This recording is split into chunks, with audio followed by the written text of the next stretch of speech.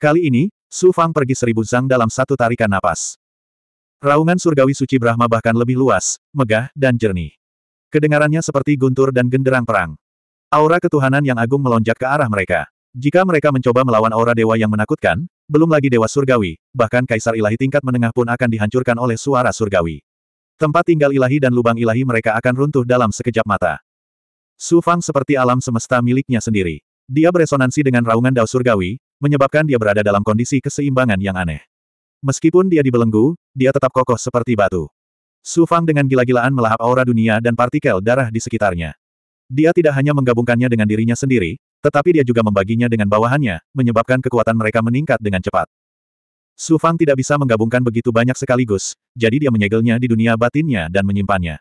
Dunia batinnya adalah alam semesta tersendiri. Energi indan yang dunia adalah energi surgawi dao alam semesta. Tentu saja, dia tidak perlu khawatir akan meledak.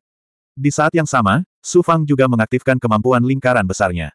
Bersama dengan teknik penyusutan kehidupan, dia mencoba merasakan sumber suaranya. Dia pertama kali merasakan Fan Hao yang sedang duduk bersila seribu sang jauhnya. Jenius bahasa Sansekerta nomor satu itu memang luar biasa. Di bawah tekanan Brahma Saint Heavenly Roar, dia benar-benar bisa masuk begitu dalam. Namun, sepertinya dia telah mencapai batasnya. Namun, rejeki yang didapatnya juga mengejutkan. Sepertinya dia akan menerobos puncak alam kaisar ilahi lapisan surgawi ke-6 dan memasuki alam kaisar ilahi tingkat atas. Setiap langkah di alam kaisar ilahi sangatlah sulit. Tanpa akumulasi puluhan juta tahun, ditambah dengan pemahaman dan kendali dao besar, sangat sulit untuk maju. Dalam waktu singkat, Fan Hao akan memasuki dunia baru. Itu cukup untuk menunjukkan betapa luar biasa dia. Rejeki yang didapatnya juga sungguh mengejutkan. Setelah menempuh seribu zang lagi, Su Fang juga merasakan Dewi Luo. Wanita misterius ini tidak berkultivasi seperti Van Hao dengan menyerap ki darah dan partikel darah. Sebaliknya, dia maju selangkah demi selangkah. Meskipun dia lambat, dia bertekad dan tenang. Wajahnya yang tanpa cacat tampak serius. Rambut hitamnya berkibar dan pakaiannya berkibar. Mungkinkah dia ingin pergi ke bagian terdalam dari kolam Brahma Sein untuk mendapatkan lebih banyak kekayaan? Su Fang sangat waspada terhadap wanita misterius ini, tetapi di saat yang sama, dia juga sangat penasaran dengannya. Su Fang terus mengaktifkan kekuatan penginderaannya hingga mencapai batasnya. Akhirnya, dia bisa merasakan asal-muasal Brahma Saint Heavenly Melody yang menakutkan. Di bagian terdalam kolam suci Brahma, terdapat kolam darah berukuran seribu kaki. Formasi susunan yang besar dan kompleks menutup kolam darah. Di genangan darah, darah kental dan kental mengalir naik turun. Di tengah genangan darah, sebuah jantung berukuran tiga kaki melayang di udara. Itu benar, itu adalah hati. Untaian benang darah menembus air darah di bawah, terus-menerus menyerap ki darah. Itu persis sama dengan hati manusia, hanya saja ukurannya belasan kali lebih besar. Ia terus berdetak, menghasilkan suara menggelegar yang juga terdengar seperti genderang perang. Inilah yang disebut suara surgawi suci Brahma. Dengan setiap ketukan, aura kehidupan dan partikel darah yang agung akan menyembur keluar dari formasi susunan dan melayang ke dunia. Pada saat yang sama, ruang di dunia kolam suci Brahma bergetar dengan aneh. Su Fang merasa kolam suci Brahma seperti tubuh hati. Saat jantung berdetak, tubuh pun ikut berdetak. Suara detak jantung yang menakutkan adalah sesuatu yang bahkan para master alam hebat pun tidak berani mendekatkannya. Pemandangan ini sangat aneh dan mengejutkan. Ini, mungkinkah ini jantung nenek moyang San Sekerta? Su Fang terkejut dan segera bertanya pada Lau. Lau melihat melalui mata Su Fang dan melihat pemandangan di bagian terdalam kolam suci Brahma. Ia juga terkejut, San Sekerta, mereka benar-benar memupuk setetes sari darah nenek moyang San Sekerta hingga tingkat yang begitu mengejutkan. Sepertinya rencana San Sekerta tidaklah kecil, mereka sebenarnya berencana menggunakan teknik terlarang untuk menghidupkan kembali nenek moyang San Sekerta. Su Fang tercengang, bangkit. Bagaimana mungkin? Nenek moyang orang San Sekerta sudah meninggal entah sudah berapa tahun, hampir selama langit dan bumi masih ada, bagaimana ia bisa dihidupkan kembali? Semua ahli tak tertandingi di alam semesta dapat dihidupkan kembali dengan setetes darah. Laut darah mata air kuning Anda, memberi Anda kemampuan yang sama. Mengapa nenek moyang bahasa San Sekerta tidak dapat dihidupkan kembali?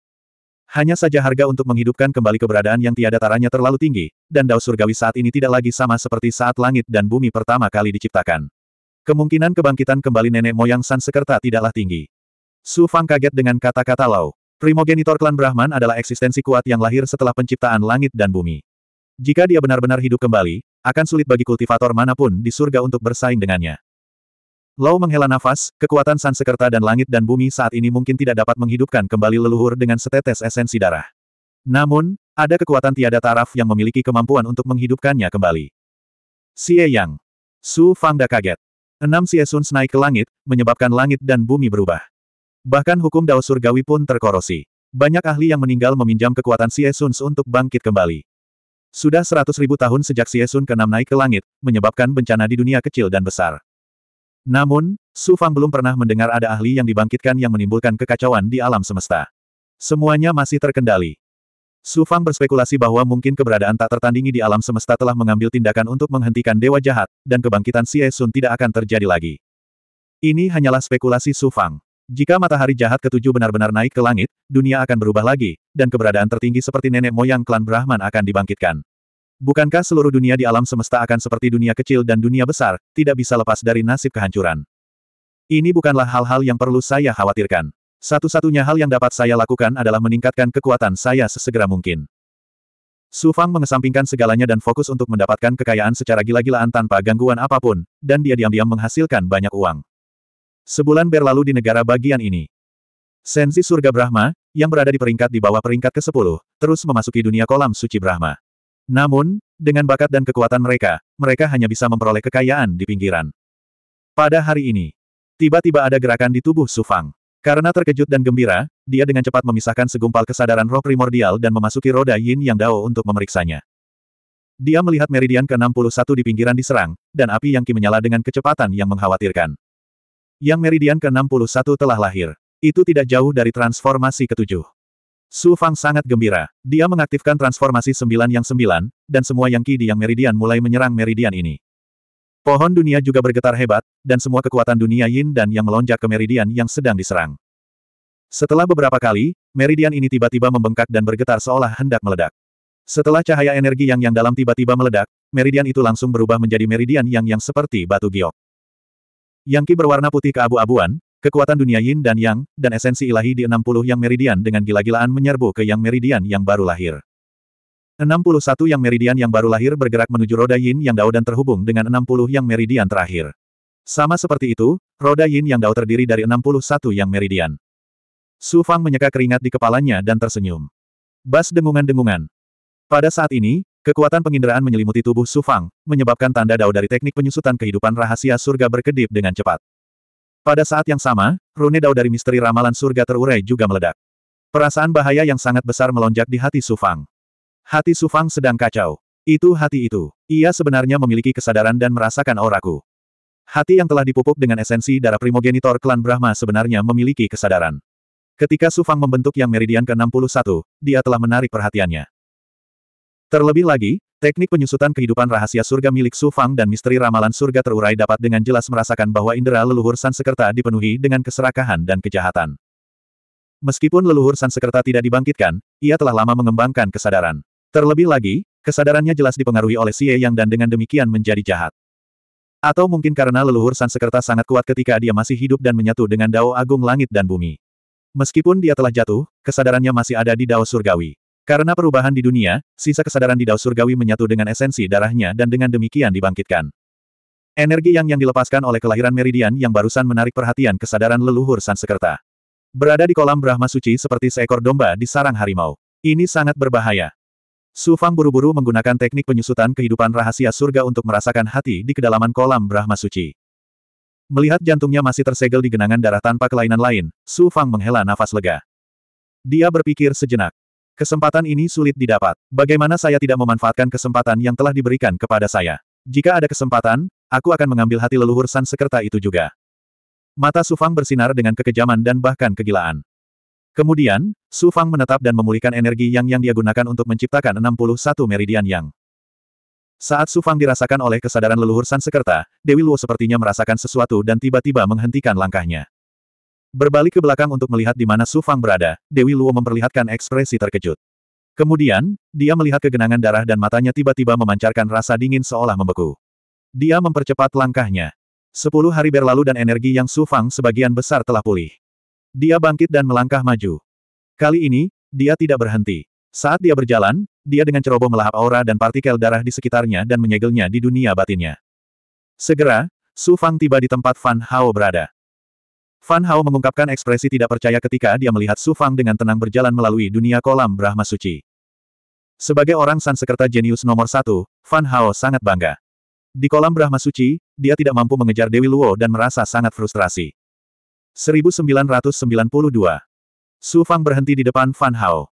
Matanya penuh ejekan saat dia melihat Fan Hao. Putra ilahi pertama Brahma, jenius pertama dalam bahasa Sanskerta. Haha. Mata Fan Hao berkilat marah saat aura menakutkan yang bisa menghancurkan langit dan bumi keluar dari tubuhnya. Dia akan membunuh Su Fang. Namun, begitu dia melepaskan auranya, aura itu segera ditekan oleh belenggu mengerikan dari kolam suci Brahma dan melodi surgawi suci Brahma. Kamu bilang aku, Fan Ye, adalah budak rendahan dan kamu ingin membunuhku. Penghinaan di mata Su Fang menjadi semakin kuat. Menurutku kamu, Fan Hao, adalah semut. Dengan jentikan jarinya, pedang ki yang terkondensasi dari kekuatan dunia yin dan yang ditembakkan dari ujung jarinya. Fan Hao buru-buru menghindar, tetapi di bawah pengaruh belenggu dan melodi surgawi suci Brahma, gerakannya sangat lambat.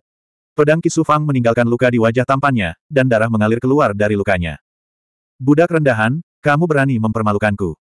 Meski lukanya tidak dalam, itu merupakan penghinaan besar bagi Fan Ye. Seperti binatang buas yang terluka, dia menerkam Su Fang dari tanah.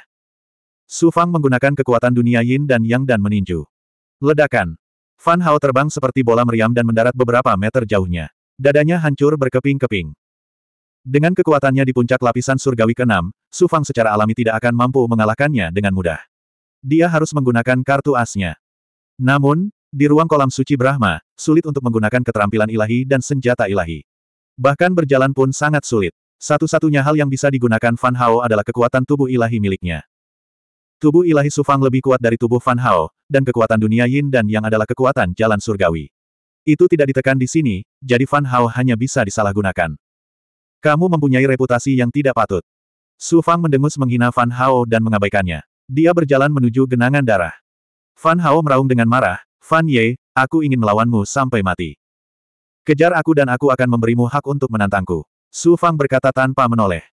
Fan Ye, aku, Fan Hao, akan membunuhmu. Dada Fan Hao melonjak dengan darah ki, daging dan darah dengan cepat tumbuh, dan luka-lukanya dengan cepat sembuh. Sambil mengertakkan giginya, dia mengeluarkan liontin giok berwarna darah dan menyuntikkan kekuatan sihirnya ke dalamnya. Dalam sekejap, liontin giok itu mengeluarkan aura berwarna darah yang identik dengan dunia kolam suci Brahma. Itu membentuk kekuatan ilahi pelindung yang menyebabkan penindasan dunia pada Fan Hao, serta dampak melodi surgawi suci Brahma, melemah lebih dari setengahnya.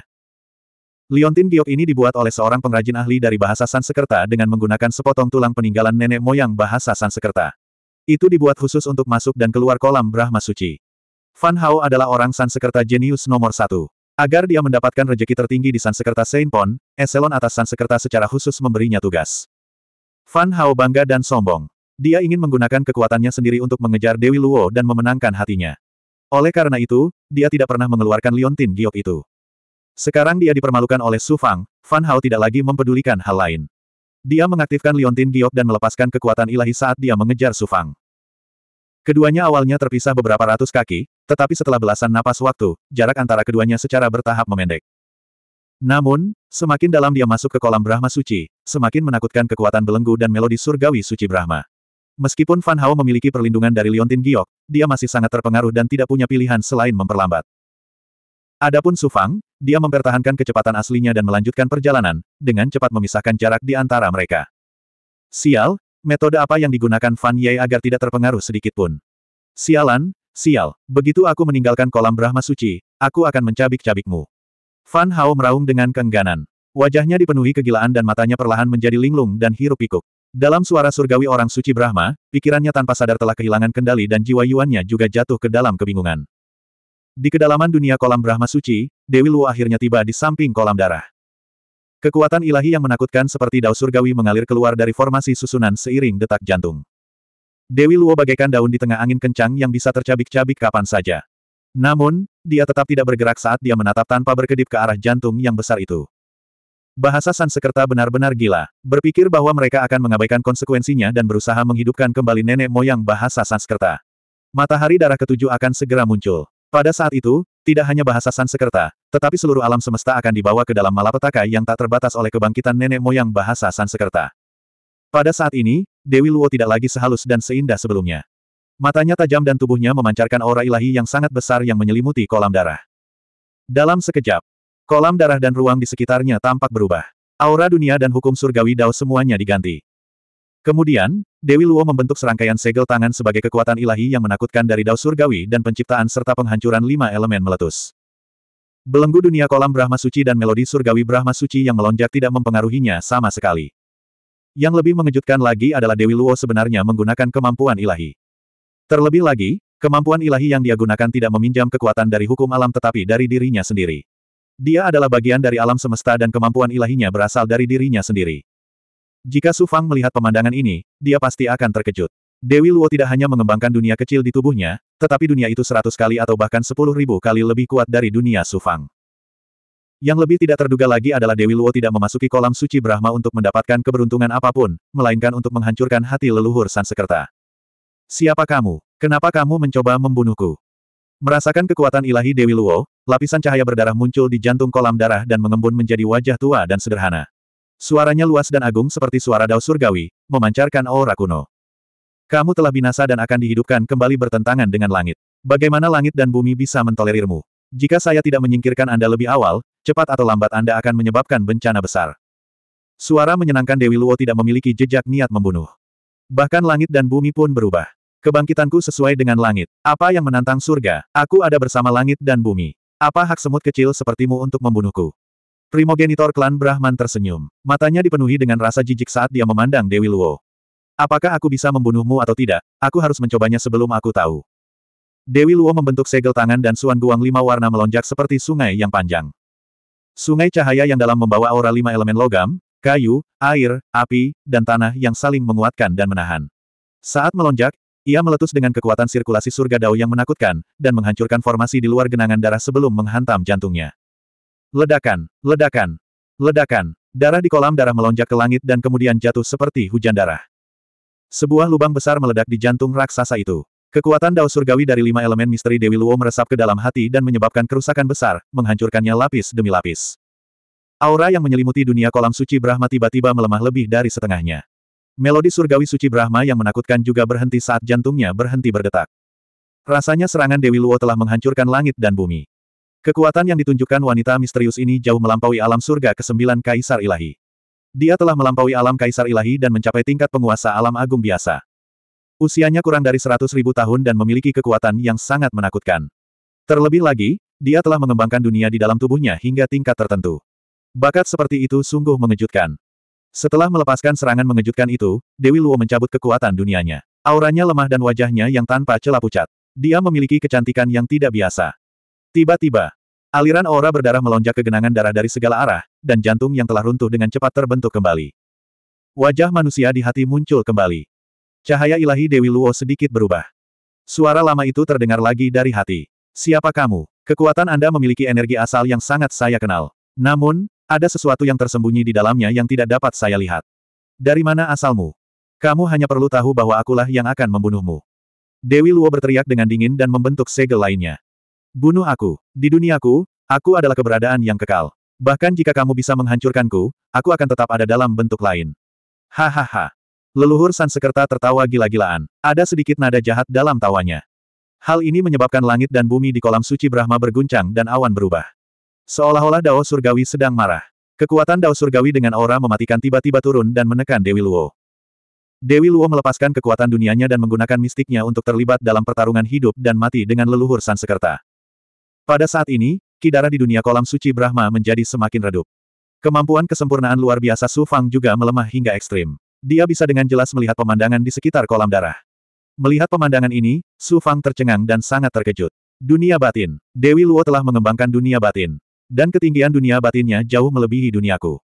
Jenius. Wanita ini benar-benar jenius yang tiada taranya. Suara Lau dipenuhi dengan keterkejutan dan kengerian. Jarang melihat seorang jenius yang tiada taranya di dunia dewa kuno. Mengapa dia membunuh leluhur Sansekerta? Jelas, budidaya esensi darah leluhur Sansekerta dalam bahasa Sansekerta ditemukan oleh eksistensi tertinggi di dunia dewa kuno. Namun, bahasa Sansekerta juga memiliki pengaruh yang sangat besar di dunia dewa kuno. Oleh karena itu, keberadaan tertinggi ini tidak dapat secara langsung mengirim ahli untuk menghancurkan leluhur Sanskerta sebelum dia bangkit kembali. Oleh karena itu, mereka mengirim seorang junior seperti Dewi Luo untuk menyelinap ke kolam suci Brahma dan mencoba membunuhnya. Spekulasi Lau tidak jauh dari kebenaran. Sepertinya tidak banyak harapan untuk terus mendapatkan peluang. Saya harus segera mencari kesempatan untuk meninggalkan kolam suci Brahma dan kemudian melarikan diri dari bahasa Sansekerta. Su Fang mengambil keputusan dan bersiap mengaktifkan pesawat ulang-alik pelangi penusuk langit untuk meninggalkan kolam suci Brahma. Keberadaan rendahan, kamu telah membuat marah leluhur ini. Jika leluhur ini telah memulihkan kekuatan puncaknya, dia bisa mengubahmu menjadi abu hanya dengan sebuah pikiran. Bagaimana aku bisa membiarkanmu menjadi begitu sombong? Raungan leluhur Sansekerta datang dari kolam darah. Kemudian, 1993. Jika leluhur Sansekerta berada di puncaknya di era primordial, dia akan mampu menghancurkan dunia dengan satu pikiran. Tapi itu dulu, dan sekarang. Leluhur Sansekerta hanyalah setetes darah esensi. Dia telah diasuh oleh bahasa Sansekerta selama bertahun-tahun dengan harta spiritual yang tak terhitung jumlahnya dan hampir tidak berhasil membentuk hati. Dia bahkan belum membentuk tubuh ilahi. Leluhur Sansekerta bahkan tidak sepersepuluh ribu dari kekuatan puncaknya, yang setara dengan penguasa alam dunia besar. Tanpa dukungan tubuh ilahi, dia tidak dapat menggunakan kekuatan ilahi yang kuat. Dia dirugikan dalam pertarungan dengan Dewi Luo. Jantung di genangan darah hancur dan berubah menjadi kabut berdarah yang tersebar di dunia kolam suci Sansekerta. Dan sebagainya. Leluhur Sansekerta memperhatikan Su Fang. Dengan tubuh fisik Su Fang yang sempurna dan yang ki yang luas, selama dia bisa memilikinya dan menggunakan kekuatan ilahi yang kuat, dia akan mampu menekan Dewi Luo.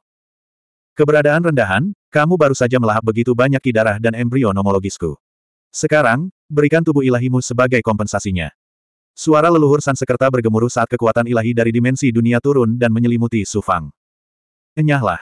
Pada saat kritis ini, Su Fang tidak lagi menyembunyikan apa pun. Kekuatan hidupnya, esensi ilahi, roh primordial, dan berbagai konstitusi tubuh sejati semuanya bergabung ke dalam istana Dao Langit dan Bumi, mengubahnya menjadi sebuah dunia. Ledakan, ledakan, Dunia Sufang berbenturan dengan kekuatan ilahi dari kekuatan ilahi Sansekerta, mengguncang langit dan bumi. Seluruh dunia kolam suci Sansekerta berguncang. Kekuatan ilahi Sufang hancur selapis demi selapis, namun berhasil menahan kekuatan ilahi dari kekuatan ilahi Sansekerta. Eh, dewa lain yang telah mengembangkan dunia batin. Dua berturut-turut. Mungkinkah para dewa di zaman ini memiliki bakat budidaya yang menantang surga? Meskipun leluhur Sansekerta merasakan yang Ki Sufang, dia tidak dapat melihat dunia batin Sufang, jadi dia terkejut dan terkejut. Seperti yang diharapkan. Dewi Luo memandang Su Fang dengan tatapan aneh di matanya. Su Fang kembali ke kondisi fisiknya, dan pada saat yang sama, penampilan aslinya dipulihkan. Kamu bukan Fan Ye, kamu adalah Su Fang. Kamu adalah Su Fang, orang yang naik dari alam bawah yang dikejar oleh Tuan Senza Tianjun. Ketika Fan Hao melihat wajah Su Fang dari jauh, dia langsung berteriak ketakutan. Berita tentang Senza Tianjun yang mencoba membunuh Su Fang di alam Dewa Star Below telah lama menyebar. Para jenius dari alam Dewa Surga Brahma juga mengetahui bahwa Su Fang adalah seorang jenius tiada taraf yang telah naik dari dunia besar. Fan Hao secara alami mengetahui nama Su Fang, tetapi ketika dia mendengar perbuatan Su Fang, dia hanya mengejek. Dia tidak menaruh hati pada Su Fang, putra Tuhan nomor satu. Tiba-tiba, Su Fang tidak hanya menyelinap ke alam Dewa Surga Brahma, dia juga menyelinap ke tanah suci budidaya terpenting dalam bahasa Sansekerta. Yang paling membuat marah Fan Hao adalah bahwa dia, jenius bahasa Sansekerta nomor satu, sebenarnya disakiti oleh seorang ascender rendahan dan diejek olehnya. Pantas saja Fan Ye menjadi begitu kuat, itu karena kamu mengambil alih tubuhnya. Su Fang, kamu semut rendahan dari alam bawah, beraninya kamu mengambil alih kejeniusan rasku dan menyelinap ke tanah suci Danau Suci Brahma. Bagaimana tuan muda ini bisa memaafkanmu? Fan Hao mengeluarkan suara gemuruh dan langsung menerkam ke arah Su Fang. Pada saat ini, belenggu spasial Tanah Suci Danau Suci Brahma telah melemah lebih dari setengahnya. Dengan kekuatan Fan Hao, dia bisa dengan mudah terbang. Aura yang luas, ilahi, dan menakutkan keluar dari dirinya. Seolah-olah dia adalah perwujudan dari hukum surgawi yang mengendalikan hukum surgawi. Dia menyapu langit untuk membunuh Su Fang dan melampiaskan amarahnya. Aku, anak dewa nomor satu di alam dewa langit bintang, ingin merasakan kekuatan anak dewa nomor satu di alam dewa langit Brahma. Su Fang berteriak dengan dominan. Peradangan prasejarah dengan cepat menyatu dengan tubuhnya. Pada saat yang sama, dia mengaktifkan sembilan api ilahi dan melepaskan bila awan api tak berwujud dengan mantra awan api ilusi. Sinar pedang terbakar yang tak terhitung jumlahnya ditembakkan ke arah Fan Hao dan menyebabkan serangkaian ledakan. Peradangan prasejarah adalah harta karun era primitif. Meski lahir belum lama ini, Su Fang terus mengolahnya dengan chaos origin yang energi dan segala jenis benda roh. Kali ini, peradangan prasejarah telah melahap banyak energi asal primal chaos di dalam Danau Suci Brahma. Ini telah berkembang ke tingkat yang mengejutkan. Api ilahi sembilan yang milik Su Fang dan kekuatan ilahi mantra awan api ilusi adalah sesuatu yang bahkan ahli puncak alam kaisar ilahi surga keenam seperti Fan Hao tidak dapat menolaknya. Setelah serangkaian ledakan, aura Fan Hao hancur, dan tubuh dewanya terluka oleh ledakan sinar pedang yang terbakar. Dia dikirim terbang dengan wajah abu-abu. Bagaimana ahli alam kaisar ilahi surga ketiga bisa memiliki kekuatan yang begitu menakutkan? Meski cederanya tidak terlalu serius, itu tetap menjadi pukulan berat bagi Fan Hao. Dia memproklamirkan diri sebagai jenius nomor satu di alam Dewa Surga Brahma, dan dia berada di puncak alam Kaisar Ilahi Surga Kenam. Terlebih lagi, Su Fang bahkan belum menggunakan kekuatan penuhnya. Fan Hao terkejut sekaligus frustrasi.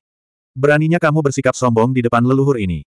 Sebuah tangan raksasa terbentuk di langit dan turun dari atas. Nenek moyang bahasa Sansekerta telah mengaktifkan kekuatan ilahi spasial dari seluruh dunia Danau Suci Brahma untuk menekan Su Fang. Tidak peduli seberapa kuat Su Fang, dia tidak bisa menahan serangan kekuatan penuh yang setara dengan penguasa alam dari alam besar. Dia dalam bahaya. Pada saat ini, Dewi Luo tiba-tiba mengeluarkan lampu minyak perunggu. Tentu saja, itu bukanlah lampu minyak biasa. Ada pola ilahi yang terbentuk secara alami di atasnya, dan itu memancarkan aura misterius hukum surgawi. Lima cahaya berwarna mengalir di sekitarnya, dan itu memberi orang perasaan bahwa hukum surgawi terus bekerja. Membelanjakan. Sinar api keluar dari mata Dewi Luo dan mendarat di lampu minyak. Puff! Nyala api lima warna di dalam lampu minyak menari-nari selama beberapa saat, dan gambar seekor burung dewa muncul dari nyala api tersebut.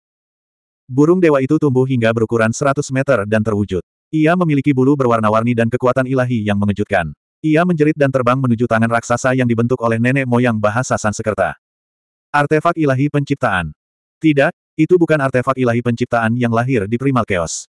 Ini adalah artefak ilahi setengah penciptaan yang lahir di dunia kecil di dalam tubuh. Nenek moyang bahasa Sansekerta terkejut. Dia membalik tangannya dan menamparkan burung dewa itu.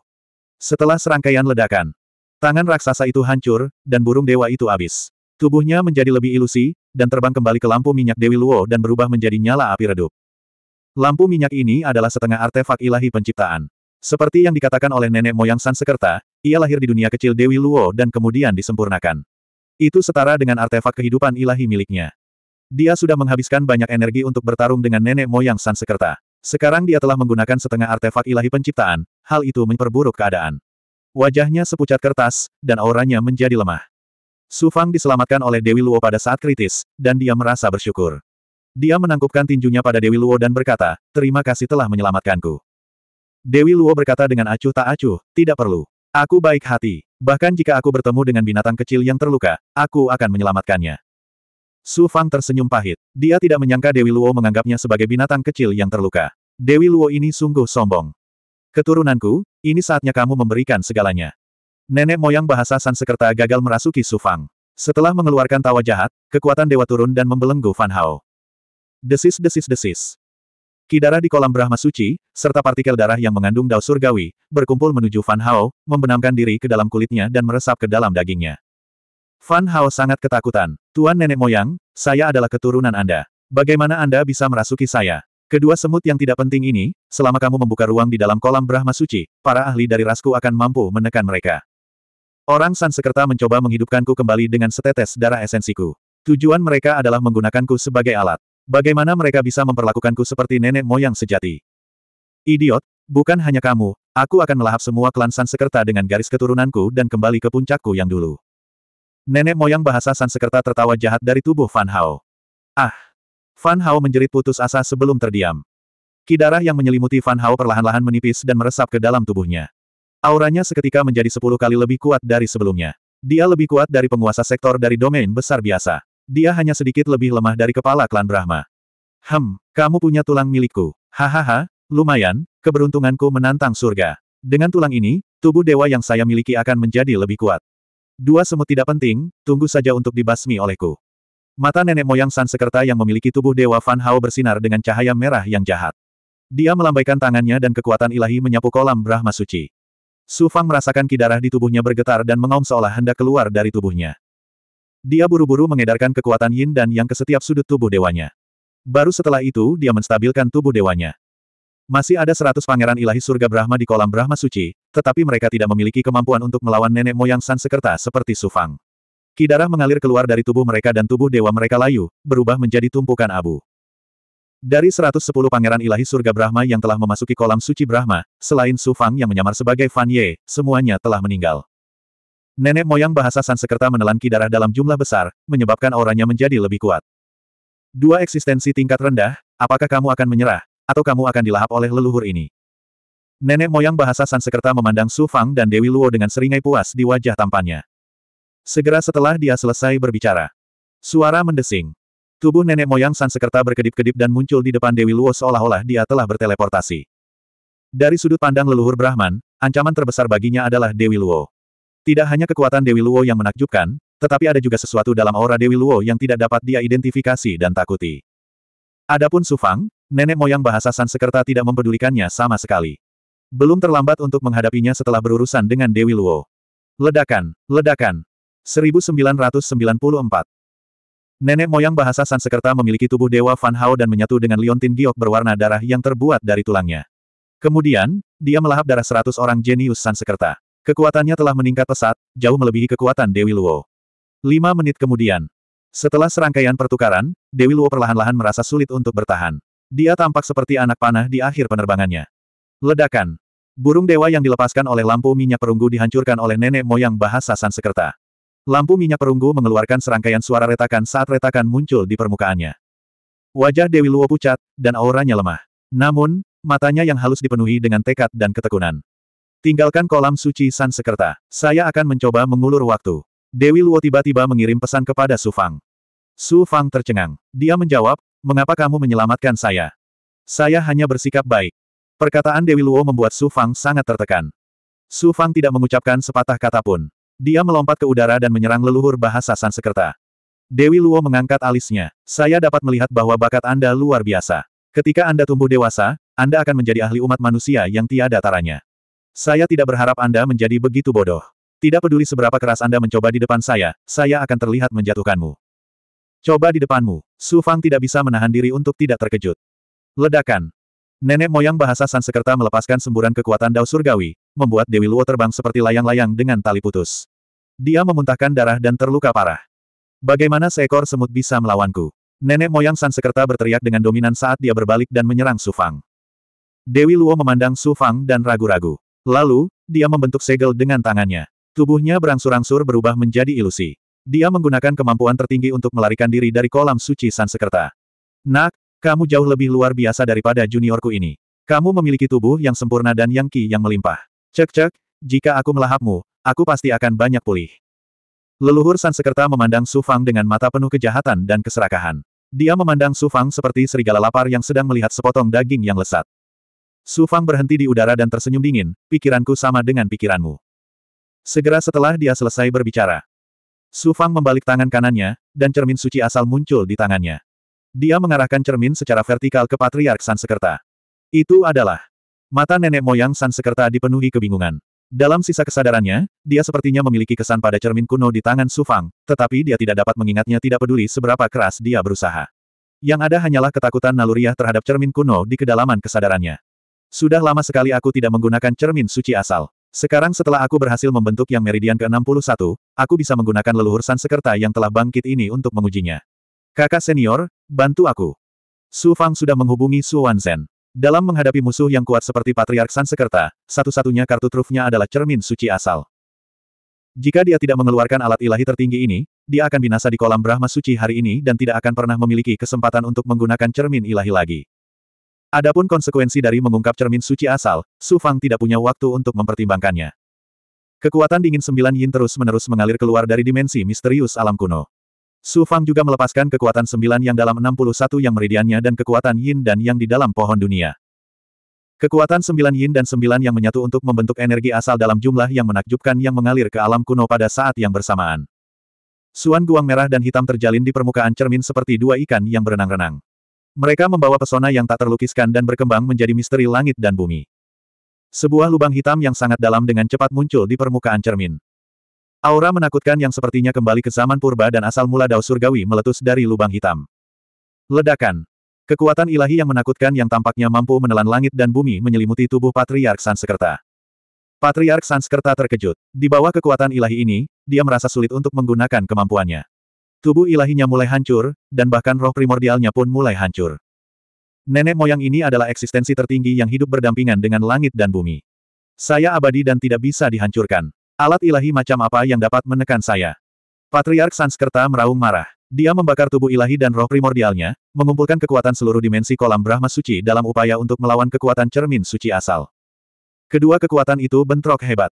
Ledakan, ledakan, ledakan. Dimensi kolam suci Brahma runtuh lapis demi lapis. Tapi tidak peduli seberapa keras Patriark Sanskerta berusaha, dia tidak bisa menghentikan cermin suci asal untuk menelannya utuh. Alat ilahi macam apa ini? Tak disangka ada alat ilahi tertinggi yang begitu kuat di multiverse, bahkan melampaui alat ilahi penciptaan. Ascendan ini hanya berada di surga ketiga dari alam kaisar ilahi.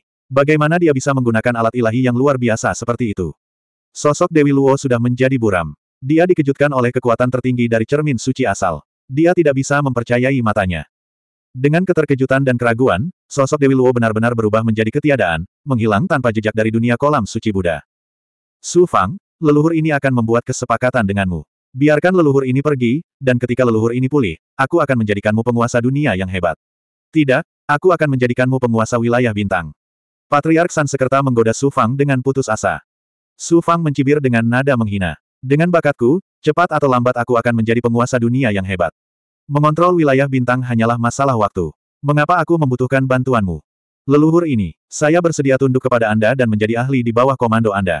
Saya Brahma, salah satu nenek moyang umat manusia. Saya memiliki kekuatan tertinggi. Ketika saya pulih ke puncak saya, saya dapat membantu Anda menyapu bersih dunia. Apakah kamu pikir aku akan mempercayai omong kosongmu? Semut, leluhur ini adalah eksistensi tertinggi yang ada bersama Dao Surgawi. Kali ini, saya telah sadar kembali karena kehendak Dewa Jahat tertinggi. Jika Anda berani membunuh leluhur ini, Dewa Jahat Tertinggi tidak akan membiarkan Anda pergi. Patriark Sansekerta mula-mula menggoda, lalu menyerah, dan akhirnya mengancam.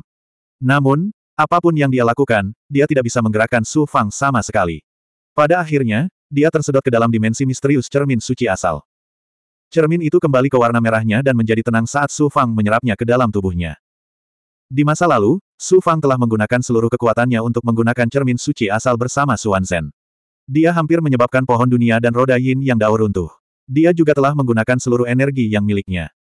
Su Fang sekarang memiliki 61 meridian yang dan tidak jauh dari transformasi ketujuh.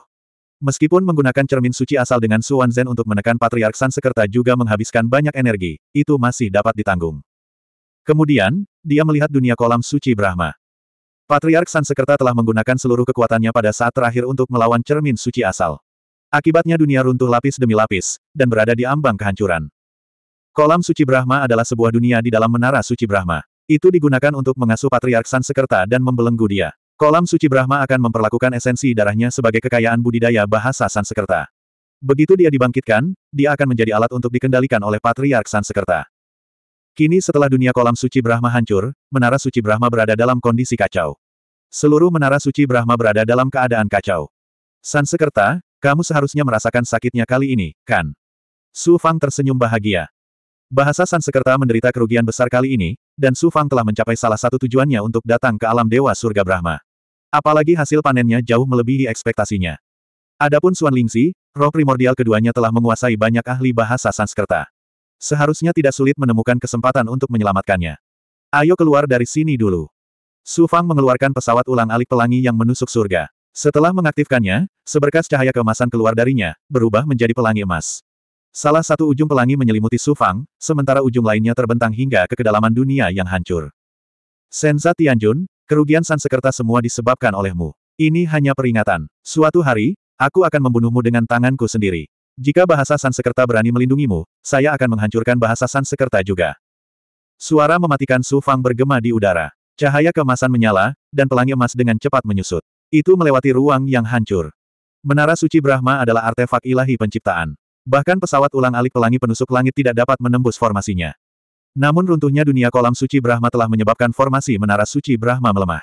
Su Fang telah melihat hal ini dan menggunakan pesawat ulang-alik pelangi penusuk langit untuk melarikan diri dari menara suci Brahma. Wus! Lebih dari selusin anggota senior Sekte Sansekerta, termasuk pemimpin Sekte Sansekerta, terbang keluar dari menara suci Brahma dan mengejar pelangi emas. Siapa yang menyusup ke sekte kita dan menghancurkan tanah suci tertinggi kita? Pemimpin sekte Sansekerta meraung dan merobek kehampaan. Dia meninggalkan anggota senior sekte Sansekerta di dalam debu dan mengejar pelangi emas. Pemimpin sekte Sansekerta adalah penguasa dunia besar. Dia berada di urutan kedua setelah Realm Lord. Namun, seberapa cepat Sky Piercing Rainbow Shuttle? Setelah menghabiskan waktu sebatang dupa, pemimpin sekte Sansekerta kembali ke dunia utama Brahma. Pemimpin sekte, bagaimana? Lebih dari selusin anggota tinggi pemimpin Sekte Sansekerta datang menyambutnya. Itu adalah pesawat ulang-alik pelangi penusuk langit milik Raja Pelangi Emas. Pakar itu telah menggunakan sebagian besar kekuatannya, jadi bahkan aku tidak bisa melacaknya. Sial, orang itu setidaknya adalah penguasa dunia besar yang bisa menggunakan pesawat ulang-alik pelangi penusuk langit sedemikian rupa. Jika aku mengetahui siapa dia, aku akan mencabik-cabiknya dan memusnahkan seluruh klannya. Pemimpin Sekte Sansekerta mengertakkan gigi dan berkata, Lalu ia bertanya, bagaimana situasi di dalam kolam suci Brahma? Apakah primogenitor baik-baik saja? Apakah Fan Hao, Fan Ye, dan para pangeran dewa lainnya aman? Para anggota tingkat tinggi dari pemimpin Sekte Sansekerta terdiam. Hati pemimpin Sekte Sansekerta itu tenggelam, dan dia berteriak, ada apa? Apakah ahli itu melukai orang-orang jenius kita? Atau apakah terjadi sesuatu pada primogenitor? Seorang pemimpin Sekte Sansekerta berkata dengan suara gemetar, kolam suci Brahma telah runtuh sepenuhnya. Ratusan atau lebih orang jenius yang memasuki kolam suci Brahma, termasuk Dewi Luo, semuanya telah menghilang.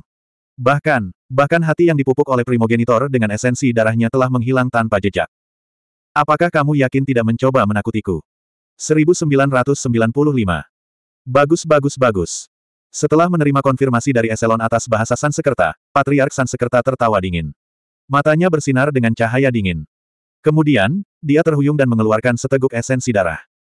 Esensi darah dari Patriark Sansekerta, yang mendekati level Master Wilayah, meledak dan menembus tubuh ahli Sansekerta di depannya. Dia terluka parah. Para eselon atas bahasa Sansekerta tahu bahwa Patriark mereka sedang gila-gilaan. Mereka semua gemetar. Lama kemudian, Patriark Sanskerta bertanya dengan dingin, apakah Anda menemukan sesuatu? Seorang ahli bahasa Sanskerta ragu-ragu sejenak sebelum berkata, sebanyak 111 orang memasuki kolam suci Sanskerta. Hanya Dewi Luo yang merupakan orang luar. Sisanya berasal dari alam Dewa Surga Brahma. Selain itu, kekuatan wanita ini juga luar biasa. Hanya dia. Arti kata-katanya sangat jelas. Dia curiga pada Dewi Luo. Dewi Luo adalah seorang jenius tak tertandingi dari ras dewa tertinggi di alam dewa kuno. Dia datang ke alam Dewa Surga Brahma dengan izin dari bahasa Sansekerta alam Dewa kuno. Secara logika, dia seharusnya tidak melakukan apa pun pada kita. Lord Primogenitor adalah kunci dominasi ras kita. Sekarang dia telah diambil, ini adalah masalah yang sangat penting. Kursi ini akan dilaporkan ke dalam bahasa Sanskerta dari alam Dewa kuno. Jika itu benar-benar Dewi Luo, tidak peduli siapa dia, dia tidak akan bisa lolos dari kematian. Kata Patriark Sanskerta dengan nada membunuh. Dia telah benar-benar kehilangan sikap seorang ahli ras kuno yang tiada taranya. Kerugian Sansekerta kali ini terlalu besar. Primogenitor Sansekerta adalah setetes esensi darah yang telah menghabiskan banyak waktu dan sumber daya dalam bahasa Sanskerta untuk dipelihara hingga ke tingkat saat ini. Setelah berhasil dipupuk, ia akan menjadi andalan terbesar ras Brahman dalam mendominasi alam semesta. Sekarang primogenitor telah hilang, tidak ada gunanya bahkan jika ruang kolam suci Sanskerta diperbaiki. Bahasa Sanskerta telah kehilangan tempat budidaya suci. Yang paling menyakitkan hati Patriark Sanskerta adalah ratusan orang jenius Sanskerta. Fan Hao, Fan Ye, dan Pangeran Dewa Langit Brahma lainnya semuanya adalah talenta yang tiada taranya. Dalam kompetisi Pangeran Dewa Area Bintang yang akan datang, mereka pasti akan mampu bersinar dengan kecemerlangan tiada taraf dan memamerkan kekuatan ilahi klan Brahma. Di masa depan, mereka akan menjadi pilar klan kita. Lebih dari seratus orang jenius yang tiada taranya. Patriark Sansekerta itu meraung dengan marah. Jika aku mengetahui siapa mereka, aku bersumpah. Saat ini, Keributan lain terjadi di Menara Brahma Sein ketika banyak anggota ras Sansekerta terbang keluar dari Menara Brahma Sein. Salah satu doppelganger Senza Tianjun juga bercampur di antara kerumunan dengan ekspresi bingung.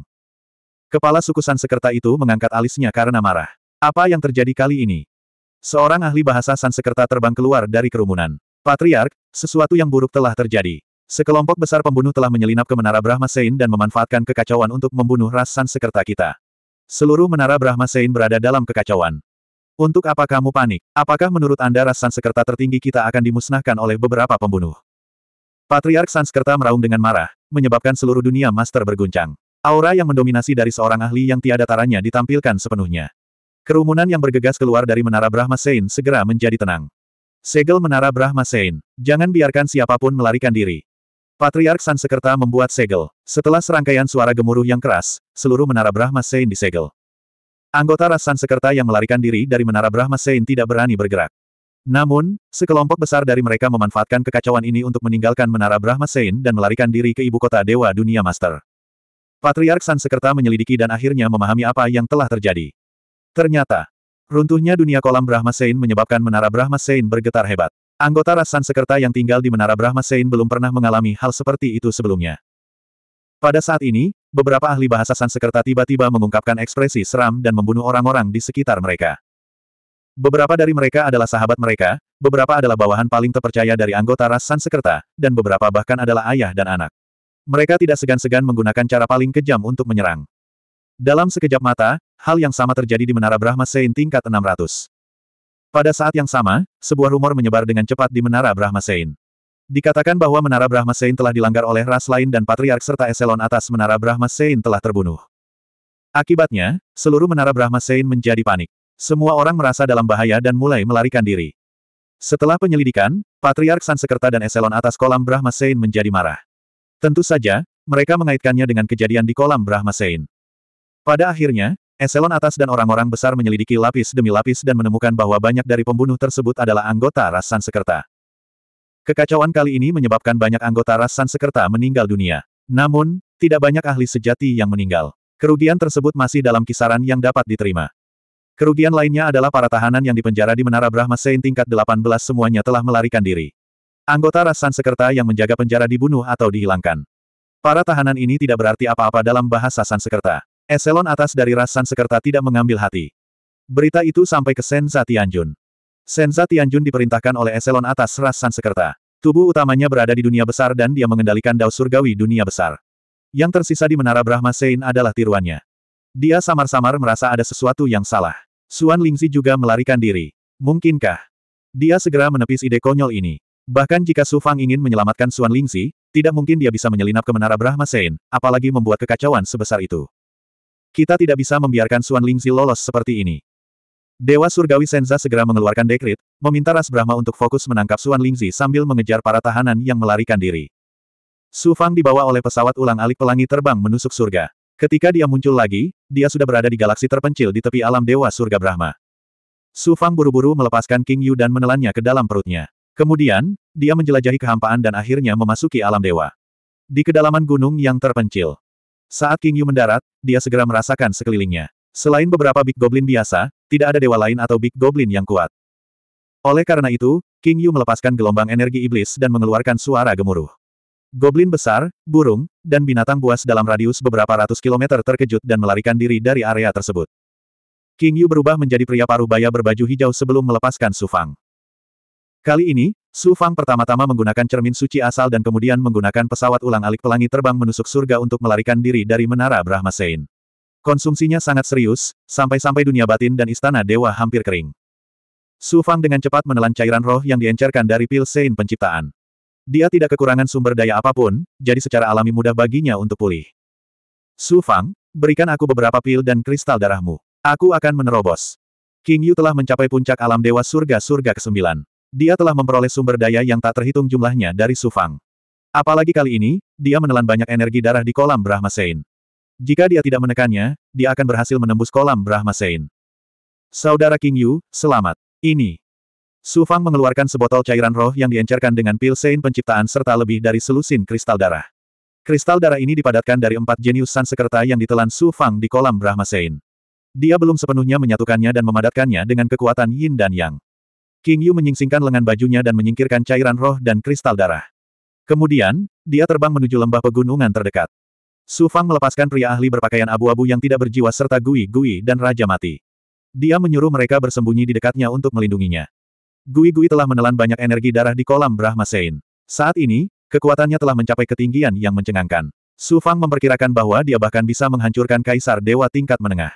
Racunnya merupakan ancaman fatal bagi Kaisar Dewa tingkat tinggi. Adapun Raja Mati, dia adalah pembangkit tenaga listrik yang telah bangkit. Semakin banyak energi kehidupan yang dia telan, dia akan menjadi semakin kuat. Selain itu, dia belum menembus belenggu apa pun, juga tidak mengalami kesengsaraan ilahi apa pun. Selama tahun-tahun di sisi Su Fang, Su Fang khawatir fakta bahwa dia telah membangkitkan pembangkit tenaga listrik sebagai bawahannya akan terungkap.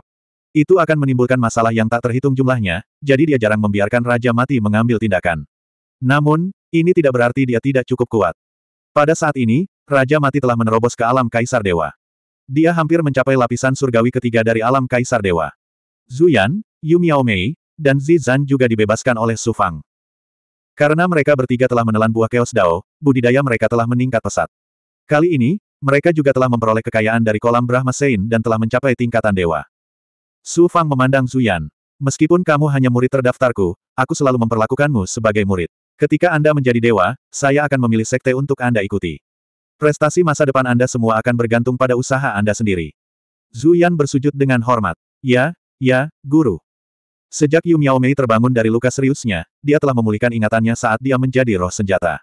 Dia mengalami depresi dan hanya menunjukkan sisi nakalnya saat bersama Bailing. Su Fang selalu memperlakukannya seperti adik perempuan. Sekarang dia seperti ini, hati Su Fang sakit. Namun, dia tidak bisa memikirkan ide bagus apa pun. Dia hanya bisa berharap dia akan cepat tumbuh dan melepaskan diri dari belenggu masa lalu.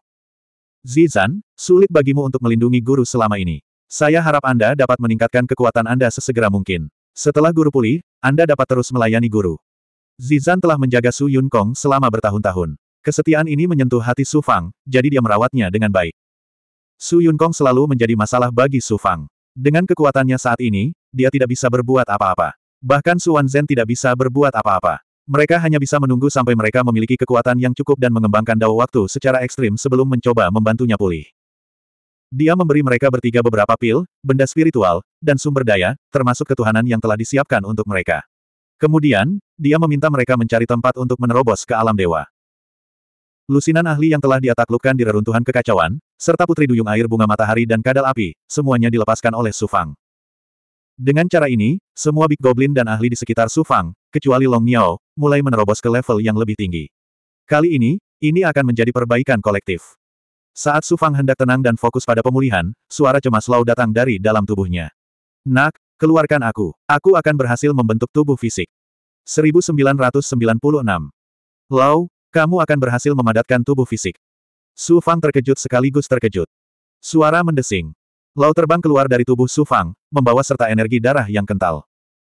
Dia tidak lagi dalam bentuk roh asal, tetapi sekarang berlumuran darah merah cerah, memancarkan aura kehidupan yang menakjubkan dan aura pembantaian yang kuat. Itu aneh dan sangat jahat. Nak, aku akan memberitahumu setelah memadatkan tubuh fisik. Ingatlah untuk menjagaku dan jangan biarkan aku diganggu. Lau dengan hati-hati menasihati beberapa kata, berubah menjadi cahaya berdarah, dan terbang ke punggung puncak gunung dengan wash. Bahkan Lau akan memadatkan tubuh fisik. Kali ini, dapat dikatakan bahwa hal-hal baik terjadi satu demi satu. Inilah kesempatan dan rejeki yang ditukar dengan bertualang ke bahasa Sansekerta. Hasil panen Su Fang jauh lebih dari ini. Primogenitor bahasa Sansekerta telah ditelan oleh cermin suci asal dan sekarang disegel dalam ruang misterius. Selain itu, Su Fang juga telah menyerap sejumlah besar energi darah yang mengandung kekuatan hidup tingkat tinggi, serta partikel darah yang mengandung embrio Dao Surgawi. Sulit untuk menggabungkannya, jadi dia menyegel semuanya di dunia batinnya. Hanya keuntungan ini saja yang membutuhkan waktu lama bagi Su Fang untuk mencernanya sepenuhnya. Setelah semuanya diubah menjadi kekuatan, Su Fang akan naik ke tingkat yang tidak terbayangkan. Teman-teman dan bawahannya akan bangkit bersamanya. Di alam semesta yang kejam, dia akhirnya memiliki kekuatan besar, yang membuat Su Fang merasa puas. Mari kita pulihkan ke kondisi puncak dulu. Dengan penuh kegembiraan, Su Fang memasuki Time Cave Abode dan memasuki kondisi kultivasi. Pada saat yang sama, dia juga membagi kesadaran roh asalnya untuk memperhatikan Lau, goblin besar lainnya, dan bawahannya. Ia memperkirakan perlu waktu lama hingga perbaikan kolektif ini berakhir. Di Time Cave Abode, Su Fang membentuk segel dan menghancurkan tubuh fisiknya lapis demi lapis, mengubahnya menjadi genangan darah. Tanpa disadari, Su Fang telah menelan sejumlah besar pil kelas menengah, serta cairan roh yang diencerkan dari pil suci penciptaan, dan tubuh empat jenius Sansekerta yang belum sepenuhnya menyatu. Segera, Su Fang pulih ke lapisan ketujuh atau kedelapan. Sambil terus berkultivasi, dia memadatkan tubuh fisik Su Fang dari genangan darah. Leluhur Sansekerta. Mata Su Fang tiba-tiba menjadi sangat panas. Dia meraih dengan tangan kanannya dan primordial Chaos Sein muncul di tangan kanannya. Saat kekuatan ketuhanan Yin yang dilepaskan, lapisan riak muncul di permukaan cermin suci asal. Manik merah seukuran kepalan tangan muncul. Kelihatannya seperti pil, tetapi tidak memiliki aroma pil. Sebaliknya, itu adalah semacam energi. Itu penuh dengan yang ki primordial yang berlimpah dan misterius. Jantungnya telah dipupuk dengan sari darah nenek moyang Sansekerta dan telah melahap seratus orang jenius Sansekerta, termasuk sepotong tulang leluhur Sansekerta. Manik merah tua yang dimurnikan oleh cermin suci asal tidak hanya selusin kali lebih besar dari manik yang dimurnikan untuk menekan penguasa sungai darah, tetapi asal yang ki yang dikandungnya juga seratus kali lebih murni dan seribu kali lebih murni. Primogenitor bahasa Sansekerta, yang bahkan lebih kuat dari penguasa alam di alam besar, bahkan tidak bisa menahan satu pukulan pun dari cermin suci asal. Kekuatan cermin suci asal benar-benar menantang surga. Bahkan Su Fang sendiri takut dengan cermin suci asal.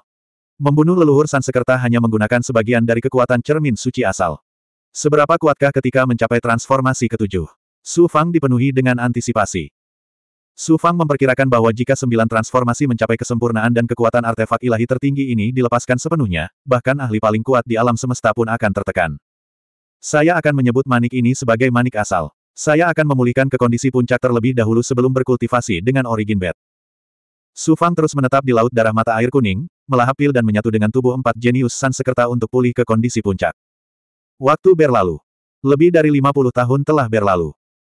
Yu Miaomei, Zuyan, dan Fan berturut-turut mengantarkan kesengsaraan ilahi purba dan berhasil naik ke alam dewa. Kemudian, selusin ahli di bawahnya juga berhasil menerobos. Beberapa naik satu langkah kecil, sementara sebagian besar naik ke alam kaisar ilahi. Bailing, kadal api, dan putri duyung air bunga matahari juga membawa terobosan baru. Selama bertahun-tahun, api kesengsaraan di daerah ini tidak henti-hentinya, dan kesengsaraan ilahi juga terus bergemuruh dan berguncang ke segala arah. Keributan besar yang berlangsung begitu lama akhirnya menarik perhatian para ahli alam ilahi. Semakin banyak dewa yang datang untuk menyelidikinya. Pria tak berjiwa dan berjubah abu-abu itu adalah ahli kaisar ilahi surga kelima. Ketika dia melihat seseorang datang, dia segera melepaskan aura mengejutkan dari kaisar ilahi tengah, membentuk kekuatan pencegah yang membuat orang takut. Gui-gui dan raja orang mati tidak perlu bertindak.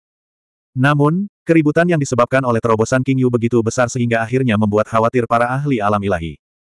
Kita harus tahu bahwa Kaisar Ilahi Big Goblin, dan Demon Rock yang sangat langka, sangat berharga di alam semesta. Jika mereka bisa menaklukkannya, itu sama saja dengan memiliki ahli lain yang tiada taranya. Mereka bisa menjualnya langsung ke kamar dagang Tong Bao dengan harga tinggi. Di antara para ahli yang tertarik dengan kesengsaraan King Yu, ada banyak Kaisar Ilahi Tengah dan Kaisar Ilahi Bawah. Kaisar Ilahi Tengah terintimidasi oleh kekuatan pria berjubah abu-abu itu. Pada saat yang sama, mereka juga khawatir tentang kekuatan di belakang King Yu. Untuk saat ini, mereka tidak berani bertindak gegabah. Sebaliknya, mereka menonton dari jauh, menunggu kesempatan. Semakin banyak orang berkumpul. Terdapat lebih dari 300 kaisar ilahi, namun kebanyakan dari mereka adalah kaisar ilahi tingkat rendah. Ada lebih dari 2000 kaisar ilahi di bawah alam kaisar ilahi. Kebanyakan dari mereka adalah dewa dari dunia kecil ini, tapi ada juga ahli dari kamar dagang.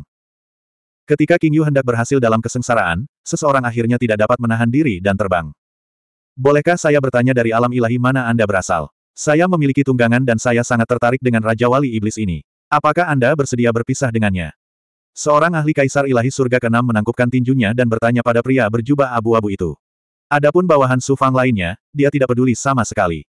Mundur seribu mil jauhnya, atau aku akan membunuhmu. Pria berjubah abu-abu itu berteriak dengan dingin. Mengapa kamu menjauhkan orang dari jarak ribuan mil? Tersesat jika kamu tidak ingin mati. Beraninya kamu bersikap kasar di hadapanku. Kaisar ilahi tengah akhirnya melepaskan topeng munafiknya dan menyerang pria berjubah abu-abu itu. Suara mendesing, suara mendesing. Semua orang bergegas untuk menjadi yang pertama berkerumun. Membunuh mereka semua. Suara Sufang dipenuhi dengan niat membunuh. Suara mendesing, suara mendesing. Suara mendesing. Pria berjubah abu-abu, Gui-Gui, Renjun, Bailing, Kadal Api, dan Putri Duyung Air Bunga Matahari, yang baru saja pulih dari terobosan mereka, bergegas keluar sebelum Su Fang selesai berbicara. Tiba-tiba, pertempuran yang menghancurkan bumi terjadi di langit. Itu bukanlah pertempuran, tapi pembantaian. Bawahan Sufang melakukan pembantaian berdarah terhadap para ahli yang didorong oleh keserakahan. Bailing, Gui Gui, dan Renjun, siapa di antara mereka yang tidak memiliki keterampilan yang kuat? Kadal api dan putri duyung air bunga matahari juga sangat luar biasa. Setelah Gui Gui membunuh Kaisar Dewa Tingkat Menengah secara mengejutkan dengan racunnya, Bailing mengaktifkan cincin kekacauan dan membunuh Kaisar Dewa Tingkat Menengah lainnya serta sejumlah besar ahli di sekitarnya. Yang lain tidak lagi menjadi ancaman, jadi ini adalah situasi sepihak. Dalam waktu kurang dari satu jam, langit menjadi kosong, dan para dewa alam kecil sudah mati atau melarikan diri. Su Fang muncul dari gua ruang dan waktu. Bailing dan yang lainnya terbang ke sisinya, dan mereka semua sangat bersemangat. Terlalu lemah. Aku sama sekali tidak bisa membunuh mereka sepuasnya. Bailing menjelma menjadi gadis muda lagi, mengoceh tanpa henti. Gui-gui melahap banyak ahli, dan seolah kenyang, dia terus bersendawa. Kadal api dan putri duyung air bunga matahari juga berubah menjadi bentuk manusia dan terlihat sangat bersemangat. Dengan bakat mereka, mereka mungkin tidak mencapai alam kaisar ilahi bahkan jika mereka berkultivasi selama jutaan tahun. Mereka hanya ditundukkan oleh Su Fang dalam waktu singkat, dan sekarang mereka memiliki kekuatan luar biasa untuk membunuh kaisar ilahi. Bagaimana mungkin mereka tidak bersemangat? Aku khawatir ini sedikit merepotkan. Kembalilah ke dunia batinku. Su Fang memandang Lau, yang sedang memadatkan tubuhnya, dan ada tatapan khawatir di matanya. Tidak akan lama sebelum para ahli yang sebenarnya tiba, dan pada saat itu, tidak akan mudah untuk menangani mereka. Terlebih lagi, tempat ini berada di bawah pengaruh alam Dewa Surga Brahma. Jika para petinggi bahasa Sanskerta khawatir, itu akan sangat merepotkan. Lau berada pada saat kritis dalam memadatkan tubuh ilahinya, dan dia tidak dapat diganggu. Su Fang meminta Bailing dan Gui Gui untuk menjaga King Yu dan memasukkan bawahannya yang lain ke dunia batinnya. Dia terbang ke gunung yang tinggi dan duduk, berkultivasi sambil menunggu masalah datang. Lebih dari sebulan kemudian. Kamu termasuk dalam kekuatan yang mana? Mengapa kamu membunuh begitu banyak orang di wilayah tertinggi Sansekerta? Sesosok terbang dari langit. Itu adalah lelaki tua dengan aura bermartabat dan aura mendominasi. Kultivasinya berada di surga kedelapan dari alam kaisar ilahi, dan dia seharusnya tidak menjadi penguasa alam dari alam kecil ini, tetapi tetua agung. Saya tidak ingin membunuh siapa pun. Tinggalkan tempat ini. Su Fang duduk di puncak gunung dan tidak bergerak. Orang tua itu berkata dengan anggun, kamu telah membunuh begitu banyak orang. Jika kamu tidak memberitahuku identitasmu dan memberiku penjelasan, aku akan membuatmu membayar dengan darahmu hari ini. Su Fang menghela nafas tanpa daya, berdiri dan melangkah ke udara. Kalau begitu aku akan memberimu penjelasan. Bum bum bum. Orang tua itu menyerang dengan segel, dan kekuatan alam dari segala arah melonjak, berubah menjadi puncak gunung setinggi seribu meter. Ia membawa kekuatan menakutkan yang dapat menekan langit dan bumi, dan akan menimpa Su Fang. Mati. Su Fang merentangkan tangannya, dan energi hitam dan putih terjalin membentuk panah waktu. Itu menembus gunung dan mengenai tubuh dewa lelaki tua itu. Zes zes zes. Kekuatan ruang dan waktu yang menakutkan meledak di tubuh lelaki tua itu. Hanya dalam lima napas pendek, tubuh dewa lelaki tua itu berubah menjadi abu oleh kekuatan waktu.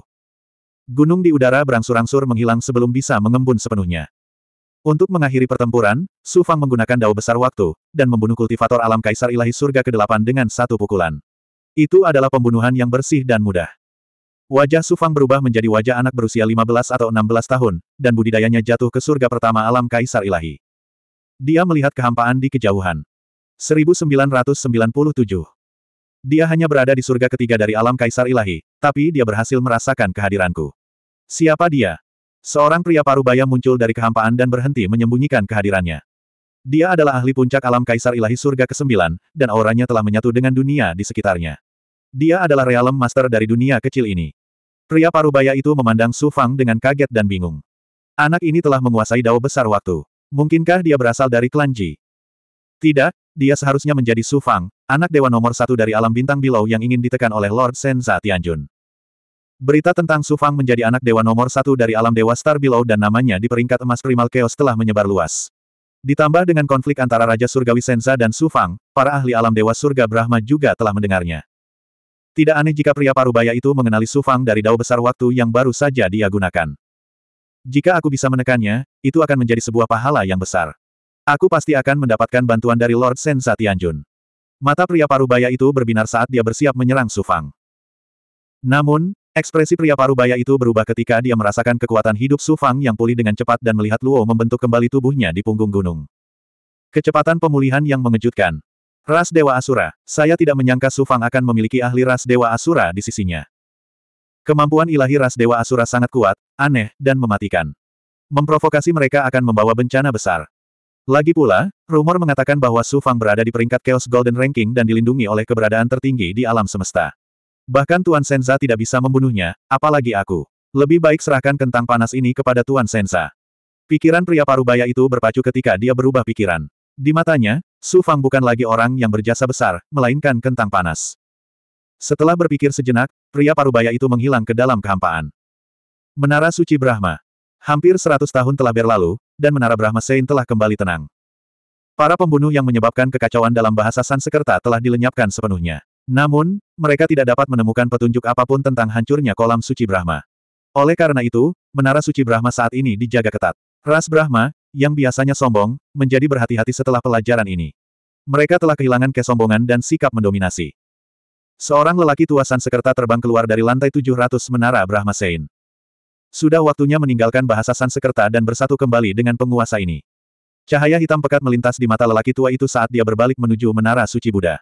Senyuman dingin muncul di wajahnya saat dia melaju menuju ibu kota ilahi alam master. Jiwa yang baru lahir kedua dari orang Sansekerta adalah milik jiwa yang baru lahir kedua Luo. Ternyata roh primordial kedua telah memanfaatkan kehancuran kolam Brahma Sein dan turbulensi menara Brahma Sein untuk memerintahkan para ahli ras Brahma di bawah kendalinya untuk membunuh dan menciptakan lebih banyak kekacauan. Dia memiliki seorang ahli bahasa Sansekerta dan menyelamatkan Suan Lingzi dari penjara lantai 18. Kemudian, dia melarikan diri dari menara Brahma Sein. Tapi bahasa Sansekerta telah menyegel semua alam dewa surga Brahma yang melintasi gerbang bintang dan formasi spasial. Jiwa kedua yang baru lahir bahkan tidak bisa meninggalkan alam utama alam dewa surga Brahma bersama Suan Lingxi. Semakin berbahaya suatu tempat, semakin aman tempat tersebut. Su Fang kembali ke menara Brahma Sein dan bersembunyi. Hampir semua ahli Brahma yang dikendalikan oleh roh primordial kedua Su Fang telah ditemukan dan dilenyapkan oleh ras Brahma. Su Fang, di sisi lain, mengandalkan kekuatan roh primordialnya yang kuat dan kemampuan Dewa Roh Primordial Iblis Malam untuk menghindari deteksi dengan mudah. Suan Lingzi ditempatkan di ruang internalnya dan juga aman dan sehat. Orang tua yang dimiliki Su Fang adalah seorang pengurus yang bertugas menangani urusan alam kecil alam Dewa Surga Brahma. Baru saja, bahasa Sansekerta menerima permintaan bantuan dari sebuah dunia kecil. Dikatakan bahwa Su Fang telah ditemukan. Jiwa baru lahir kedua Su Fang kebetulan sedang bertugas. Dia menyembunyikan berita itu dan segera meninggalkan Menara Brahma Sein. Dia melewati alam melintasi gerbang bintang dan pergi ke alam kecil untuk bertemu dengan tubuh utamanya. Setengah bulan kemudian, penguasa alam kecil tidak melihat satupun ahli bahasa Sansekerta datang, jadi dia mengirim pesan lain ke bahasa Sansekerta. Para petinggi Sansekerta baru mengetahui berita ini. Namun, eselon atas bahasa Sansekerta pusing memikirkan bagaimana menghadapi Sufang. Dengan perlindungan peringkat emas Primal Chaos, Sansekerta tidak berani membunuh Sufang di depan umum. Namun, Su Fang secara terbuka muncul di wilayah alam Dewa Surga Brahma dan membunuh orang. Tidak diragukan lagi itu merupakan penghinaan dan provokasi terhadap bahasa Sansekerta. Sansekerta tidak bisa mengabaikannya. Bahasa Sansekerta baru saja menderita kerugian besar, dan kekuatan yang tak terhitung jumlahnya bersuka cita. Pada saat ini, seorang jenius dari alam Kaisar Ilahi diizinkan untuk menjadi sombong di alam Dewa Surga Brahma. Sansekerta sama sekali tidak bisa membiarkan hal ini terjadi. Pada akhirnya, Senza Tianjun melangkah maju dan menerima perintah tersebut. Avatarnya yang tertinggal di Menara Brahma Sein langsung menuju ke alam kecil. Su Fang, yang sedang duduk bersila di puncak gunung, tiba-tiba bergidik. Kemudian, suara energi kesengsaraan yang memekakkan telinga keluar dari tubuhnya dan berubah menjadi api kesengsaraan yang membara. Dia berhasil menerobos di saat seperti ini. Baik itu alam dewa sejati, alam dewa surgawi, atau alam kaisar ilahi, terdapat celah kecil antara surga ketiga dan keempat. Jika seseorang ingin menerobos, mereka harus menghabiskan tenaga dan waktu beberapa kali lebih banyak daripada alam lain. Sudah berapa lama sejak Su Fang menjadi jenius di alam kaisar ilahi tingkat ketiga? Su Fang terkejut karena dia telah mencapai puncak surga ketiga dalam waktu sesingkat itu. Namun, ketika dia memikirkannya dengan hati-hati, semuanya masuk akal. Setelah Su Fang mencapai surga ketiga di kolam suci Brahma, dia melahap dan menggabungkan energi darah dan partikel darah yang tak terhitung jumlahnya. Energi darah nenek moyang San Sekerta mengandung kekuatan hidup dari esensi darah para transenden. Dan di dalam partikel darah, terdapat energi kekacauan primal yang lemah dan bentuk embrio Dao Surgawi. Energi kekacauan primal adalah intisari alam semesta yang melampaui aura alam langit dan bumi serta kekuatan dunia. Bahkan dalam peradangan prasejarah, tidak ada aura bermutu tinggi. Selain itu, Su Fang telah mengembangkan alam semesta di dalam tubuhnya dan memiliki ketuhanan kekacauan yang utama. Budidaya Dao Agung Langit dan Bumi jauh lebih tinggi daripada budidayanya saat ini. Setelah menyerap begitu banyak energi, wilayahnya sudah cukup, dan dia telah menerobos begitu cepat, wajar jika kesuksesan tercapai. Namun, sekarang bukan waktunya untuk menerobos. Tubuh Lau belum berhasil dipadatkan. Jika ahli bahasa Sansekerta datang, akan sangat buruk. Namun, dengan terobosannya yang akan segera terjadi, Su Fang tidak bisa berbuat apa-apa. Untungnya, King Yu telah menyelesaikan terobosannya saat ini, dan dengan bantuan pil dan kristal darah, dia telah pulih dengan pesat. Jadi King Yu, Bailing, dan Gui Gui semuanya datang ke puncak gunung untuk menjaga Sufang. Sufang mengaktifkan api ilahi sembilan matahari, dan bersama dengan api kesengsaraan, mereka dengan cepat berubah menjadi lautan api, menyebabkan Sufang berubah menjadi manusia api dalam sekejap. Kotoran di dalam plasenta merembes keluar dari tubuhnya dan dibakar oleh api kesengsaraan, segera berubah menjadi abu. Tidak banyak kotoran di plasenta, terutama karena Su Fang telah menggunakan melodi surgawi suci Brahma untuk memurnikan tubuh dewanya di kolam suci Brahma, menyebabkan tubuh dewa Su Fang bertransformasi lebih jauh, membuatnya lebih kuat, lebih sempurna, dan lebih dalam. Kekuatan terobosan surga keempat dari alam kaisar ilahi memiliki efek yang dapat diabaikan pada pembersihan tubuh dewa. Namun, tempat tinggal ilahi mengalami perubahan yang menakjubkan. Pusaran bintang di tengahnya berputar dengan liar, sepuluh kali lebih cepat dari sebelumnya, menyebabkan seluruh tempat tinggal ilahi berputar dan berubah menjadi pusaran. Saat Su Fang berada pada saat kritis dalam terobosannya. Realm Lord dari dunia kecil diam-diam telah memata-matainya selama ini. Melihat pemandangan menakjubkan dari terobosan Su Fang, penguasa alam dunia kecil juga terkejut. Pada saat yang sama, dia sangat ingin memanfaatkan terobosan Su Fang untuk membunuh Su Fang. Suara mendesing. Seorang lelaki tua terbang dari langit. Merasakan aura lelaki tua itu, Realm Lord dari dunia kecil sangat gembira. Kultivasi orang tua ini hanya berada di surga kesembilan dari alam kaisar ilahi, tetapi auranya tidak diragukan lagi adalah anggota cabang utama bahasa Sansekerta. Sansekerta akhirnya mengirimkan seseorang. Meski bukan ahli yang tiada taraf, selama ahli Sansekerta muncul, Su Fang, kentang panas ini, akhirnya bisa diantar. Penguasa alam dunia kecil segera menunjukkan dirinya dan langsung menemui lelaki tua Sansekerta itu. Setelah menyapanya, lelaki tua Sansekerta itu berkata dengan dingin dan malu, ayo pergi dan temui Su Fang. Realem Lord dari dunia kecil ragu-ragu, Tuhan. Kami adalah dua kaisar ilahi tingkat tinggi. Apakah kami takut dengan kaisar ilahi tingkat menengah yang belum menyelesaikan terobosannya? Orang tua San Sekerta itu mendengus dingin dan terbang menuju Sufang. Penguasa alam dari dunia kecil tersenyum malu dan mengikuti lelaki tua San Sekerta itu. Mereka tiba di udara di atas puncak gunung. Saat ini, api kesengsaraan di tubuh Sufang masih menyala dengan ganas. Namun, di tengah api kesengsaraan, dia tampak terkejut. Sufang, kamu telah memulai pembantaian di wilayahku. Kamu benar-benar sombong. Sekarang penguasa Sansekerta telah datang secara pribadi, mengapa kamu tidak menyerah dan mengikutinya ke bahasa Sansekerta? Realem Lord dari dunia kecil berteriak dengan arogan. Tiba-tiba, bang, Suan Guang Hitam menghantam bagian belakang kepala Realem Lord dunia kecil. Karena lengah, pertahanan bukaan ilahi miliknya bergetar dan Suan Guang Hitam menghantam bukaan ilahi miliknya. Kamu kamu kamu. Realem Lord dari dunia kecil menjadi pucat karena ketakutan. Dalam bukaan ilahinya, seorang pria berpakaian hitam bangkit dari Suan Guang Hitam. Dilihat dari wajahnya, itu adalah Su Fang. Beraninya kamu mencoba menyakitiku. Kamu mendekati kematian. Roh primordial kedua Su Fang berkata dengan dingin. Kekuatan roh primordial membentuk gelombang yang bergejolak. Kekuatan roh primordial Kaisar Ilahi melonjak menuju roh yang di dunia kecil. Realem Lord dari dunia kecil terkejut. Dia harus bertarung dengan roh primordial kedua di dunia spiritualnya. Suara mendesing. Suara mendesing. Bailing dan Gui Gui menyerang dari puncak gunung secara bersamaan. Dengan keras, Bailing mengaktifkan Chaos Ring. Aura menakutkan yang membuat dao surgawi kacau balau meledak dan menghantam tubuh ilahi penguasa alam dunia kecil. Realem Lord dari dunia kecil terbang mundur seperti layang-layang dengan tali putus. Tubuh ilahinya hancur selapis demi selapis. Pada saat ini, Gui Gui bergegas keluar dan memuntahkan api beracun. Nyala api menyala dengan ganas di Realem Lord dari dunia kecil dan merusak tubuhnya. Penguasa sektor dunia kecil telah mencapai surga kesembilan dari alam kaisar ilahi. Selain itu, ini adalah wilayahnya, sehingga dia dapat dengan mudah mengendalikan asal dunia dari dunia kecil. Akan sulit bagi ahli biasa dari alam kaisar ilahi untuk membunuhnya. Saat ini, di bawah serangan menjepit roh primordial kedua, Bai Ling, dan Gui Gui, terutama roh primordial kedua, dia tidak punya waktu untuk memperhatikan serangan di luar. Dalam waktu kurang dari setengah jam, tubuh ilahinya terluka parah dan roh primordialnya dilahap oleh roh primordial kedua Sufang. Dewa, 1998. Ketika api kesengsaraan berangsur-angsur padam, Su Fang juga menyelesaikan promosi ini. Aura di tubuhnya, serta jejak daus surgawi di dalam tubuh ilahi, bukaan ilahi, dan roh yang, semuanya menjadi tingkat keempat. Alam Kaisar Ilahi tingkat keempat. Su Fang menelan pil itu dan kemudian melihat roh primordial kedua. Apa yang terjadi setelah aku meninggalkan Menara Brahma Sein? Roh primordial kedua mengirimkan pemikiran dan bergabung dengan tubuh utama. Su Fang segera memahami semua yang terjadi setelah dia melarikan diri dari Menara Brahma Sein. Su Fang juga terkejut sekaligus terkejut karena roh primordial kedua menyebabkan begitu banyak kekacauan dalam bahasa Sansekerta. Kemudian, ketika dia mengetahui bahwa Suan Lingzi diselamatkan oleh roh primordial kedua, Su Fang bahkan lebih gembira lagi. Tujuan datang ke alam Dewa Surga Brahma kali ini bukan hanya untuk membalas dendam pada bahasa Sansekerta, tetapi juga untuk menyelamatkan Suan Lingzi. Sekarang setelah kedua tujuan tercapai, bagaimana mungkin dia tidak bahagia? Suara mendesing gelombang. Roh primordial kedua melepaskan Suan Lingzi dari ruang di dalam tubuh sesepuh San Sekerta itu. Suan Lingzi tampak kuyu dan auranya lemah, bukan hanya karena dia dibelenggu oleh Senza Tianjun, tetapi juga karena dia mengetahui identitas asli Su Fang dari Senza Tianjun. Su Fang. Melihat Su Fang, Suan Lingzi berkata dengan getir.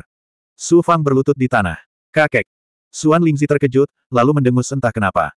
Putra Dewa Sufang adalah putra dewa nomor satu dari alam Dewa Langit Bintang, seorang jenius tak tertandingi di peringkat emas kekacauan primordial. Apa aku, Suan Lingzi, yang berani menjadi sesepuhmu?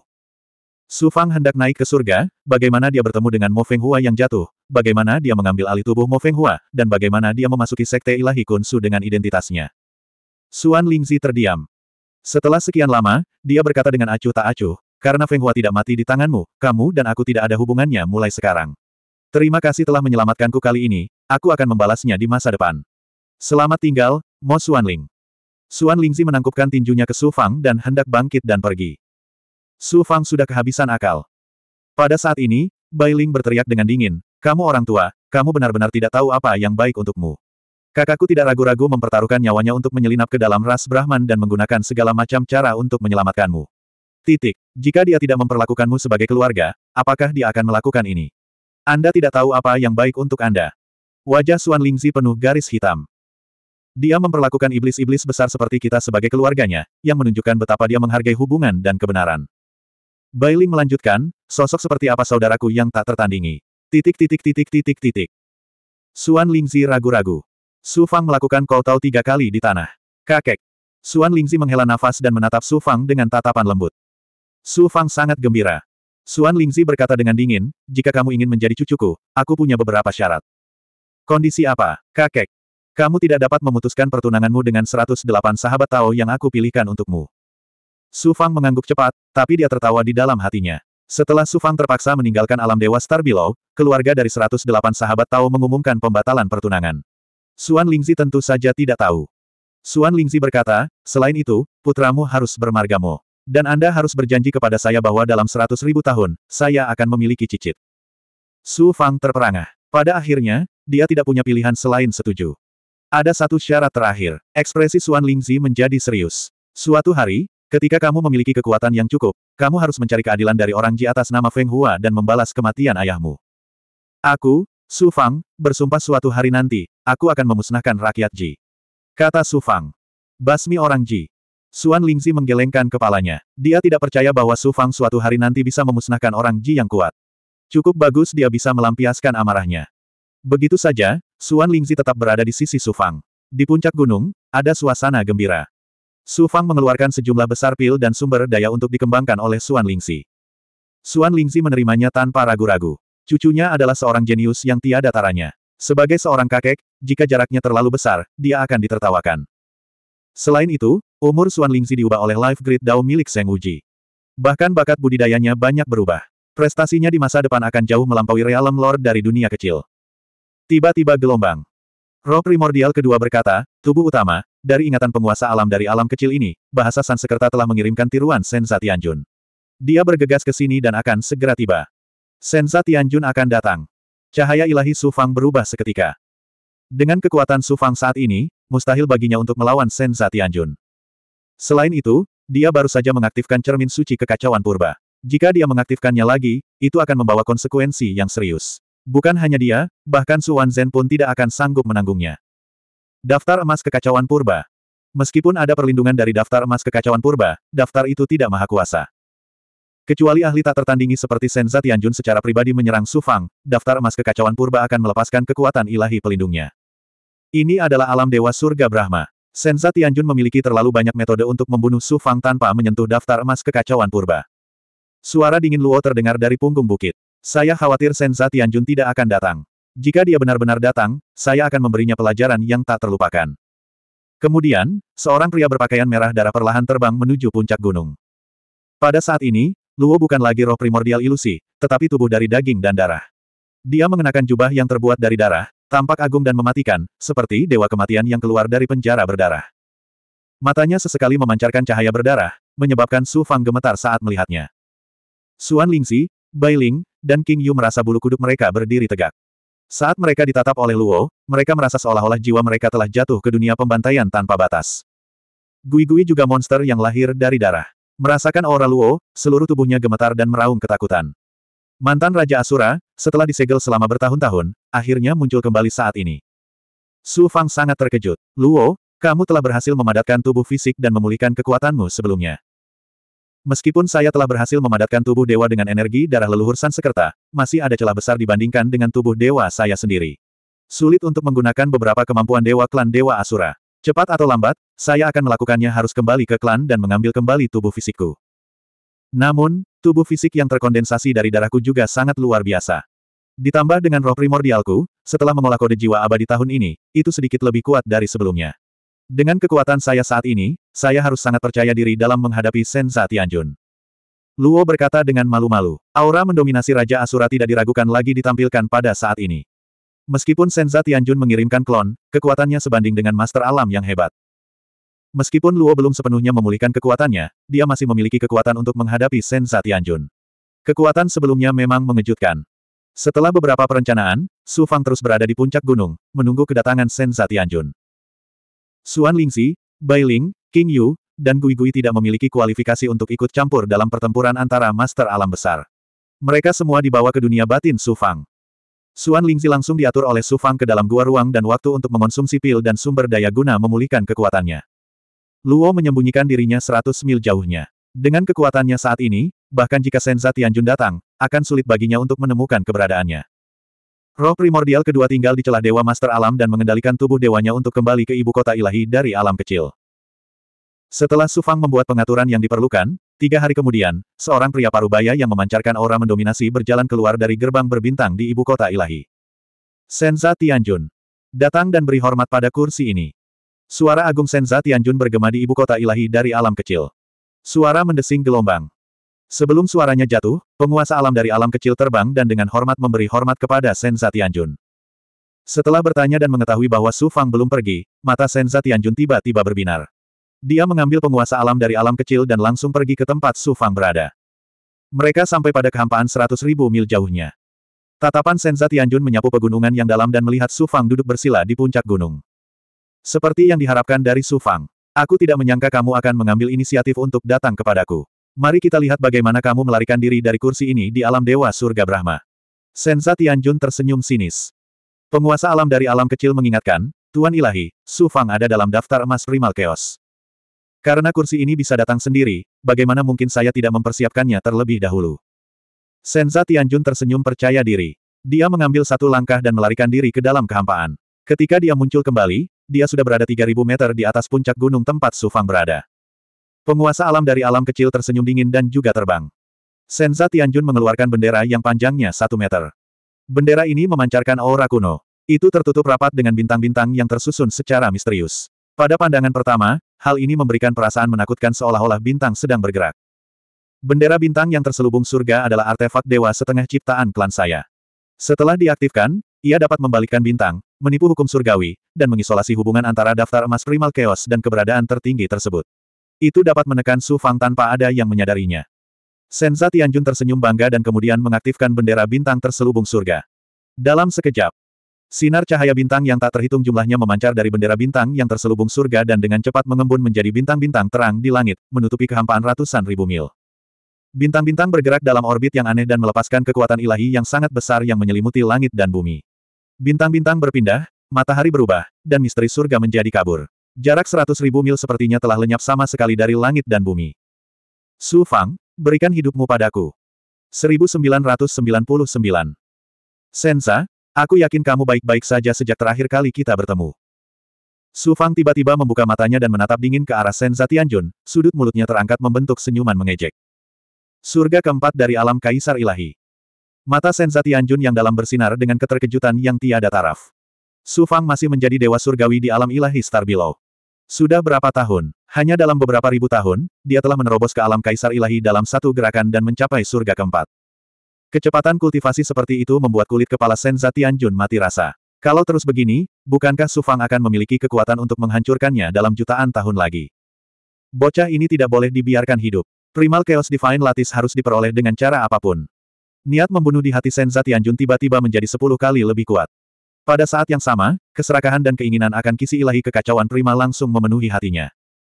Kamu akan mati, tapi kamu tidak panik sama sekali. Kamu pikir aku tidak akan berani menyakitimu karena perlindungan Chaos Golden Roll, kan? Melihat Su Fang begitu tenang, Senza Tianjun secara alami berpikir bahwa Su Fang mengandalkan Chaos Golden Roll, jadi dia mendengus tawa yang tidak bisa dijelaskan. Su Fang berkata, Senza, kamu hampir ditekan oleh Chaos Golden Roll terakhir kali.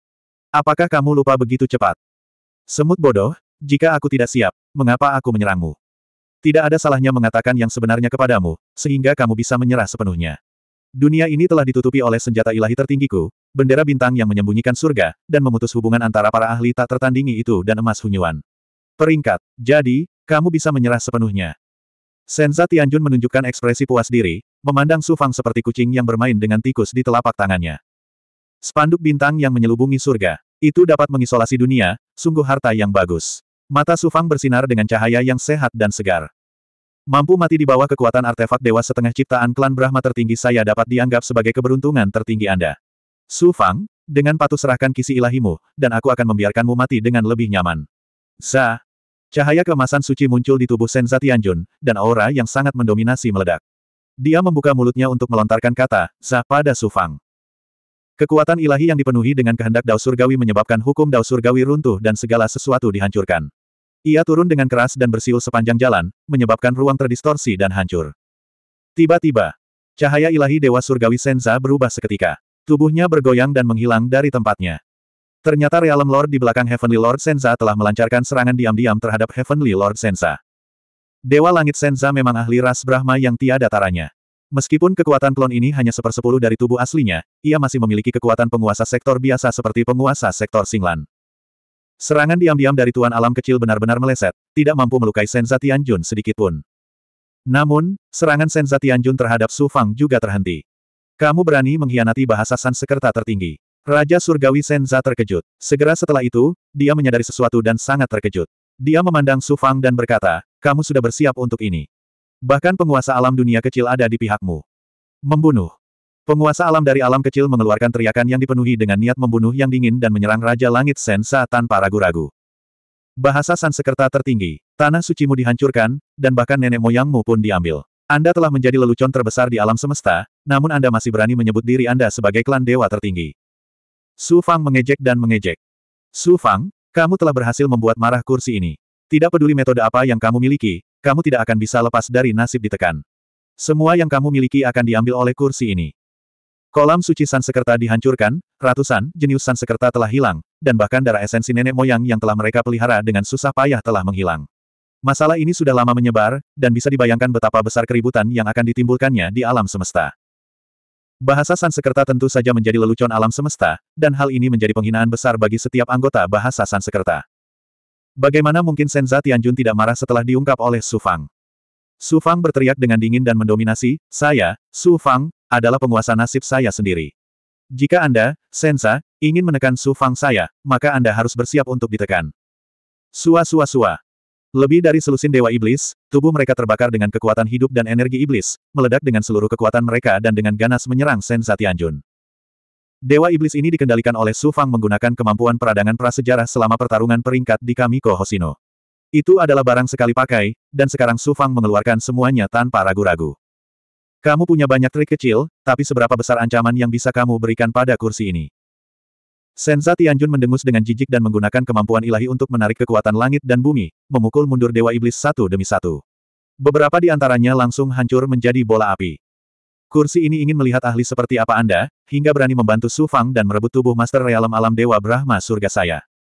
Kekuatan Senza Tianjun sangat kuat. Setelah melihat bahwa Realem Master dari alam kecil telah ditangkap dan kesadarannya dikendalikan, dia mengarahkan pandangannya pada Realem Master dari alam kecil setelah memukul mundur para Dewa Iblis. Kecepatannya secepat teleportasi, tubuhnya bergoyang, dan dia berada di sebelah Realem Master dari alam kecil. Dia mengulurkan tangan dan meraih udara. Seperti tangan surga, dia melepaskan kekuatan mengejutkan yang membuat Realem Master dari alam kecil sulit untuk bergerak. Tiba-tiba, tubuh Dewa Realem Master dari alam kecil membengkak dengan hebat dan kemudian meledak dengan ledakan. Kekuatan Realem Master dari alam kecil berada di puncak alam Kaisar Dewa Langit ke-9. Pada saat ini, ledakan tubuh dewa dan kultivasinya begitu kuat sehingga Senza Tianjun tidak bisa menahan rasa takut. Suara mendesing. Suan guang hitam keluar dari ledakan dan tidak terpengaruh oleh ledakan tersebut. Itu melesat ke dahi Senza Tianjun. Kekuatan ilahi dari roh primordial terkondensasi menjadi energi pedang yang tak terlihat dan dengan ganas menyerang pertahanan bukaan ilahi Senza Tianjun. Apa-apaan ini? Ini adalah Iblis Malam, sebenarnya iblis malam yang legendaris. Su Fang, kamu sebenarnya berkolusi dengan Night Demon, mungkinkah kamu sudah lama dikendalikan oleh Night Demon? Sangat sedikit orang yang tahu tentang Night Demon dari dunia makro hingga berbagai dunia. Namun, hal itu tidak bisa disembunyikan dari klan dewa yang telah ada sejak zaman kuno seperti bahasa Sansekerta. Oleh karena itu, Senza Tianjun dapat melihat asal-usul roh primordial kedua secara sekilas. Setan Malam Tidak hanya di dunia makro, tetapi di banyak sekali dunia, bahkan beberapa kaisar kuat dan eksistensi tertinggi yang mengetahui tentang iblis malam akan mengubah ekspresi mereka ketika mereka menyebut iblis malam. Pada saat ini, hati Senza Tianjun membeku dan bergetar. Pada saat yang sama, Senza Tianjun tiba-tiba menyadari, saya mengerti sekarang. Di Menara Suci Buddha, orang yang mengendalikan ahli klan saya dan dengan ceroboh membunuh anggota klan saya, menyebabkan kekacauan besar, adalah Anda. Jika saya tidak salah, Suan Lingzi juga diselamatkan oleh Anda. Su Fang tersenyum dan berkata, kamu baru mengerti sekarang, setidaknya kamu tidak terlalu bodoh. Senza Tianjun mengertakkan gigi dan melepaskan aura ilahi roh primordialnya untuk bertahan melawan serangan roh primordial kedua. Pada saat yang sama, dia dengan dingin berteriak kepada Su Fang, Su Fang, aku telah berubah pikiran. Aku tidak hanya akan melucuti ketuhananmu, aku juga akan melucuti roh primordialmu dan membiarkan jiwamu terbakar dalam api surgawi, menderita. Untuk keabadian.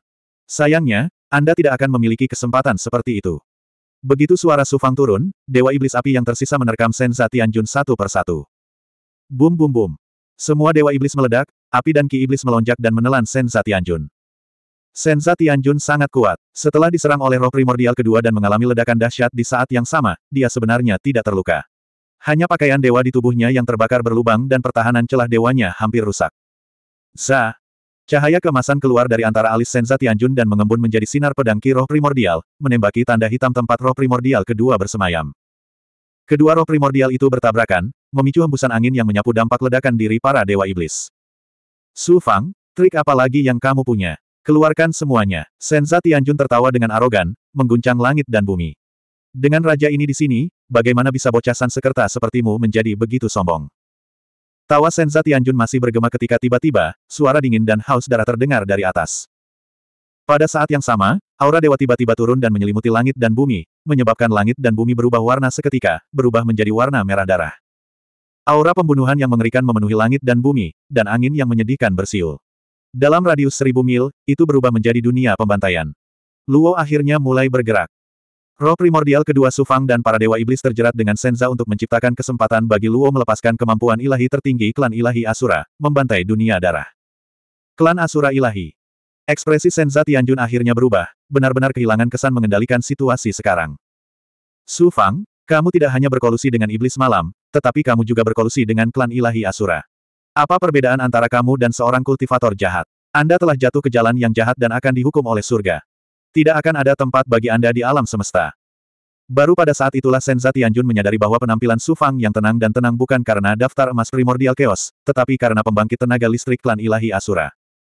Pada saat yang sama, dia juga memahami bahwa Su Fang telah memasang jebakan untuk membunuhnya.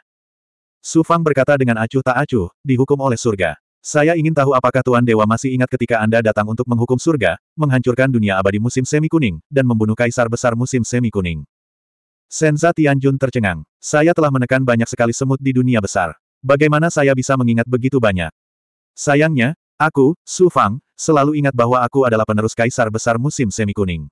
Kamu datang untuk menghukum langit dan membunuhnya. Hari ini, aku akan membunuh salah satu doppelgangermu untuk membalas budi kaisar besar musim semi kuning.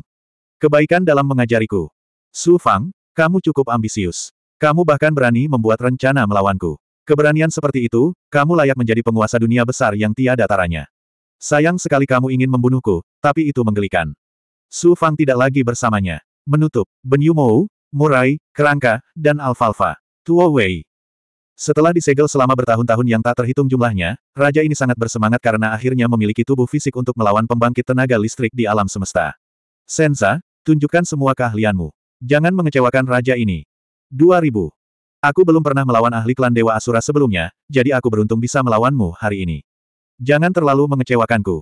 Senza Tianjun menyatakan. Di saat berikutnya. Setelah Senza Tianjun membuat segel tangan, cahaya kemasan keluar dari tubuhnya dan merobek aura pembantaian dan darah di sekitarnya.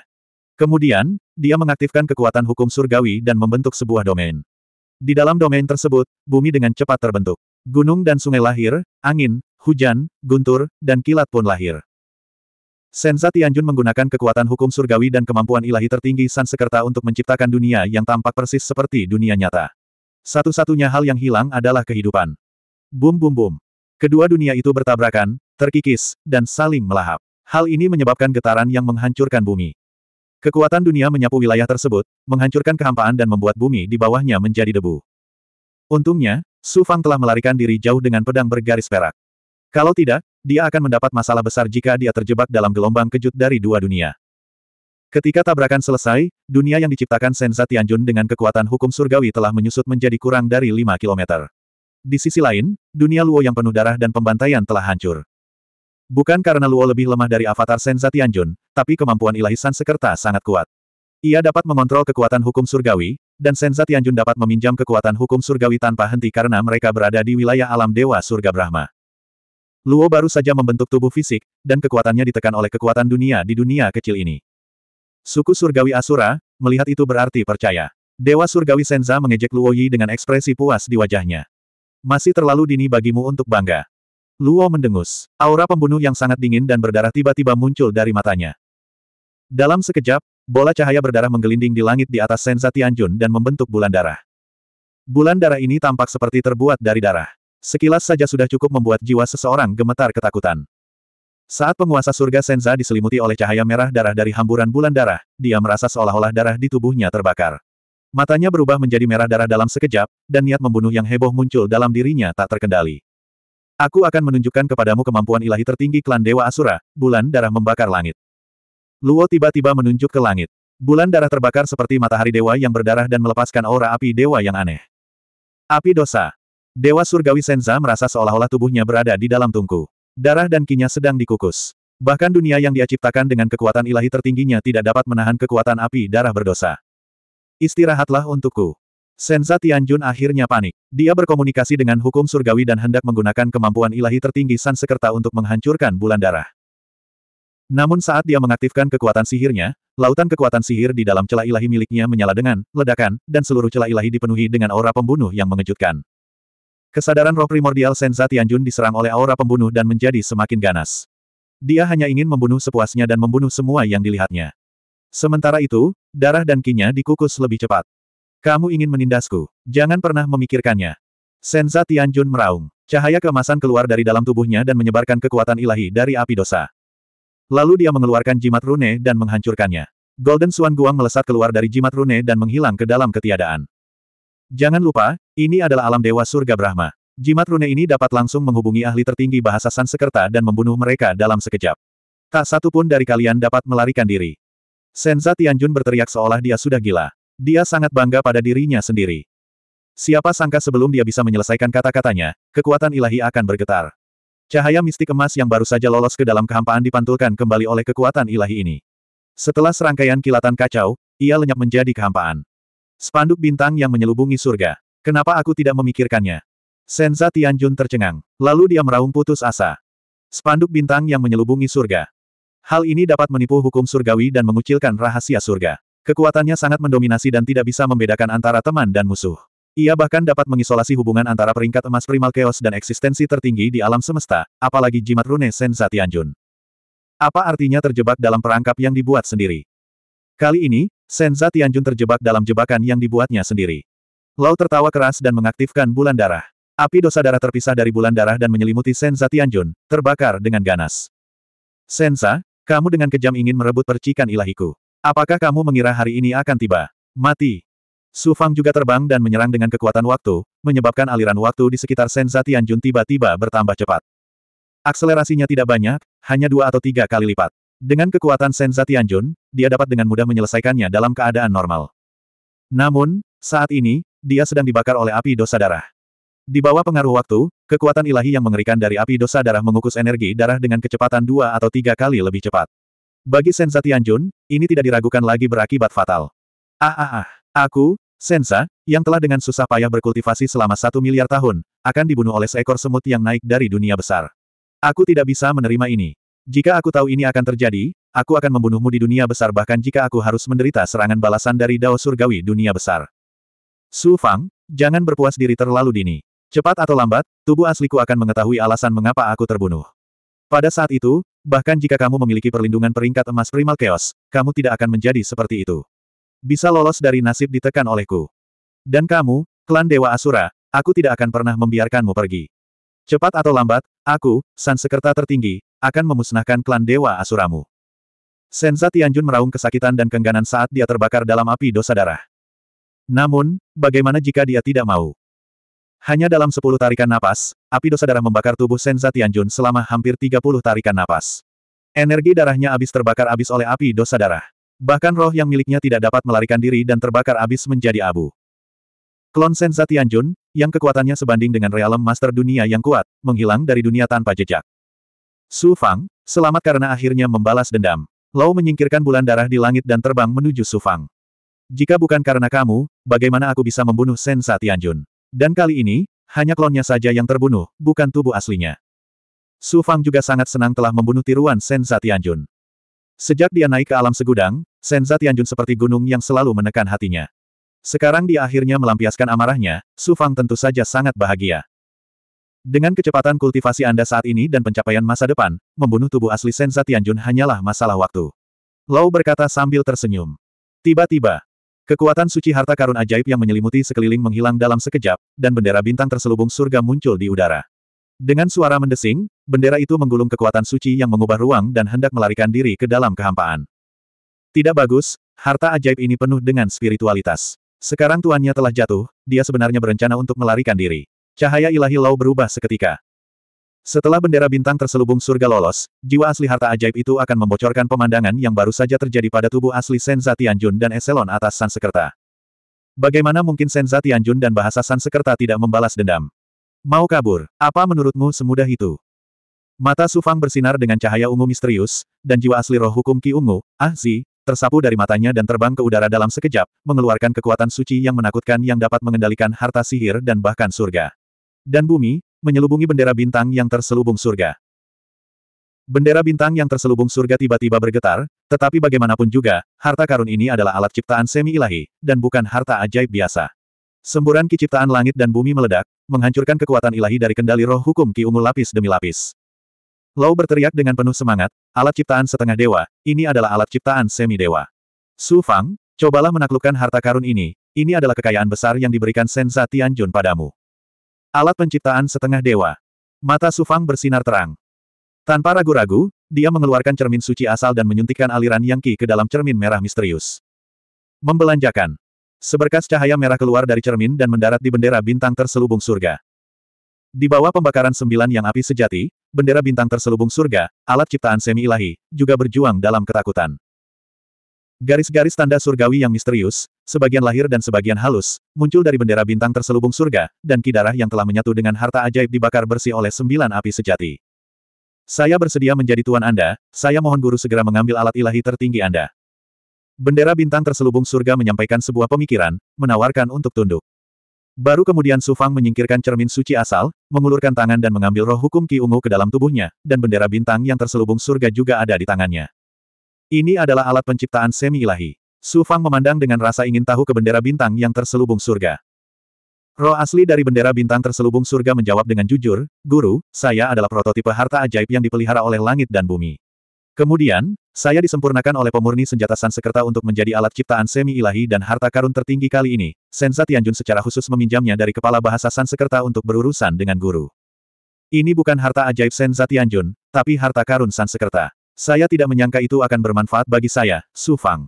Su Fang sangat gembira. Kali ini, dia benar-benar harus berterima kasih kepada Senza Tianjun. Lau memperingatkan, Su Fang, meskipun harta ajaib ini bagus, kamu tidak berani menggunakannya sekarang. Jika orang Sansekerta tahu bahwa kamu mencuri harta tertinggi mereka, maka kamu bisa menunggu untuk diburu oleh orang Sansekerta setiap hari. Bahkan asalnya daftar emas tidak akan bisa melindungi Anda. Artefak ilahi setengah ciptaan adalah harta langka di tangan ras dewa mana pun. Lau, secara alami aku menyadari hal ini. Su Fang meletakkan bendera bintang yang terselubung surga ke dalam dunia batinnya, menunggu waktu untuk merenungkan dan mengintegrasikannya secara perlahan. Dengan cara ini, Su Fang memperoleh alat ciptaan semi-ilahi, yang kedua setelah cermin suci asal di antara semua harta ajaib. Lau memandang Su Fang, memperlihatkan ekspresi sedih.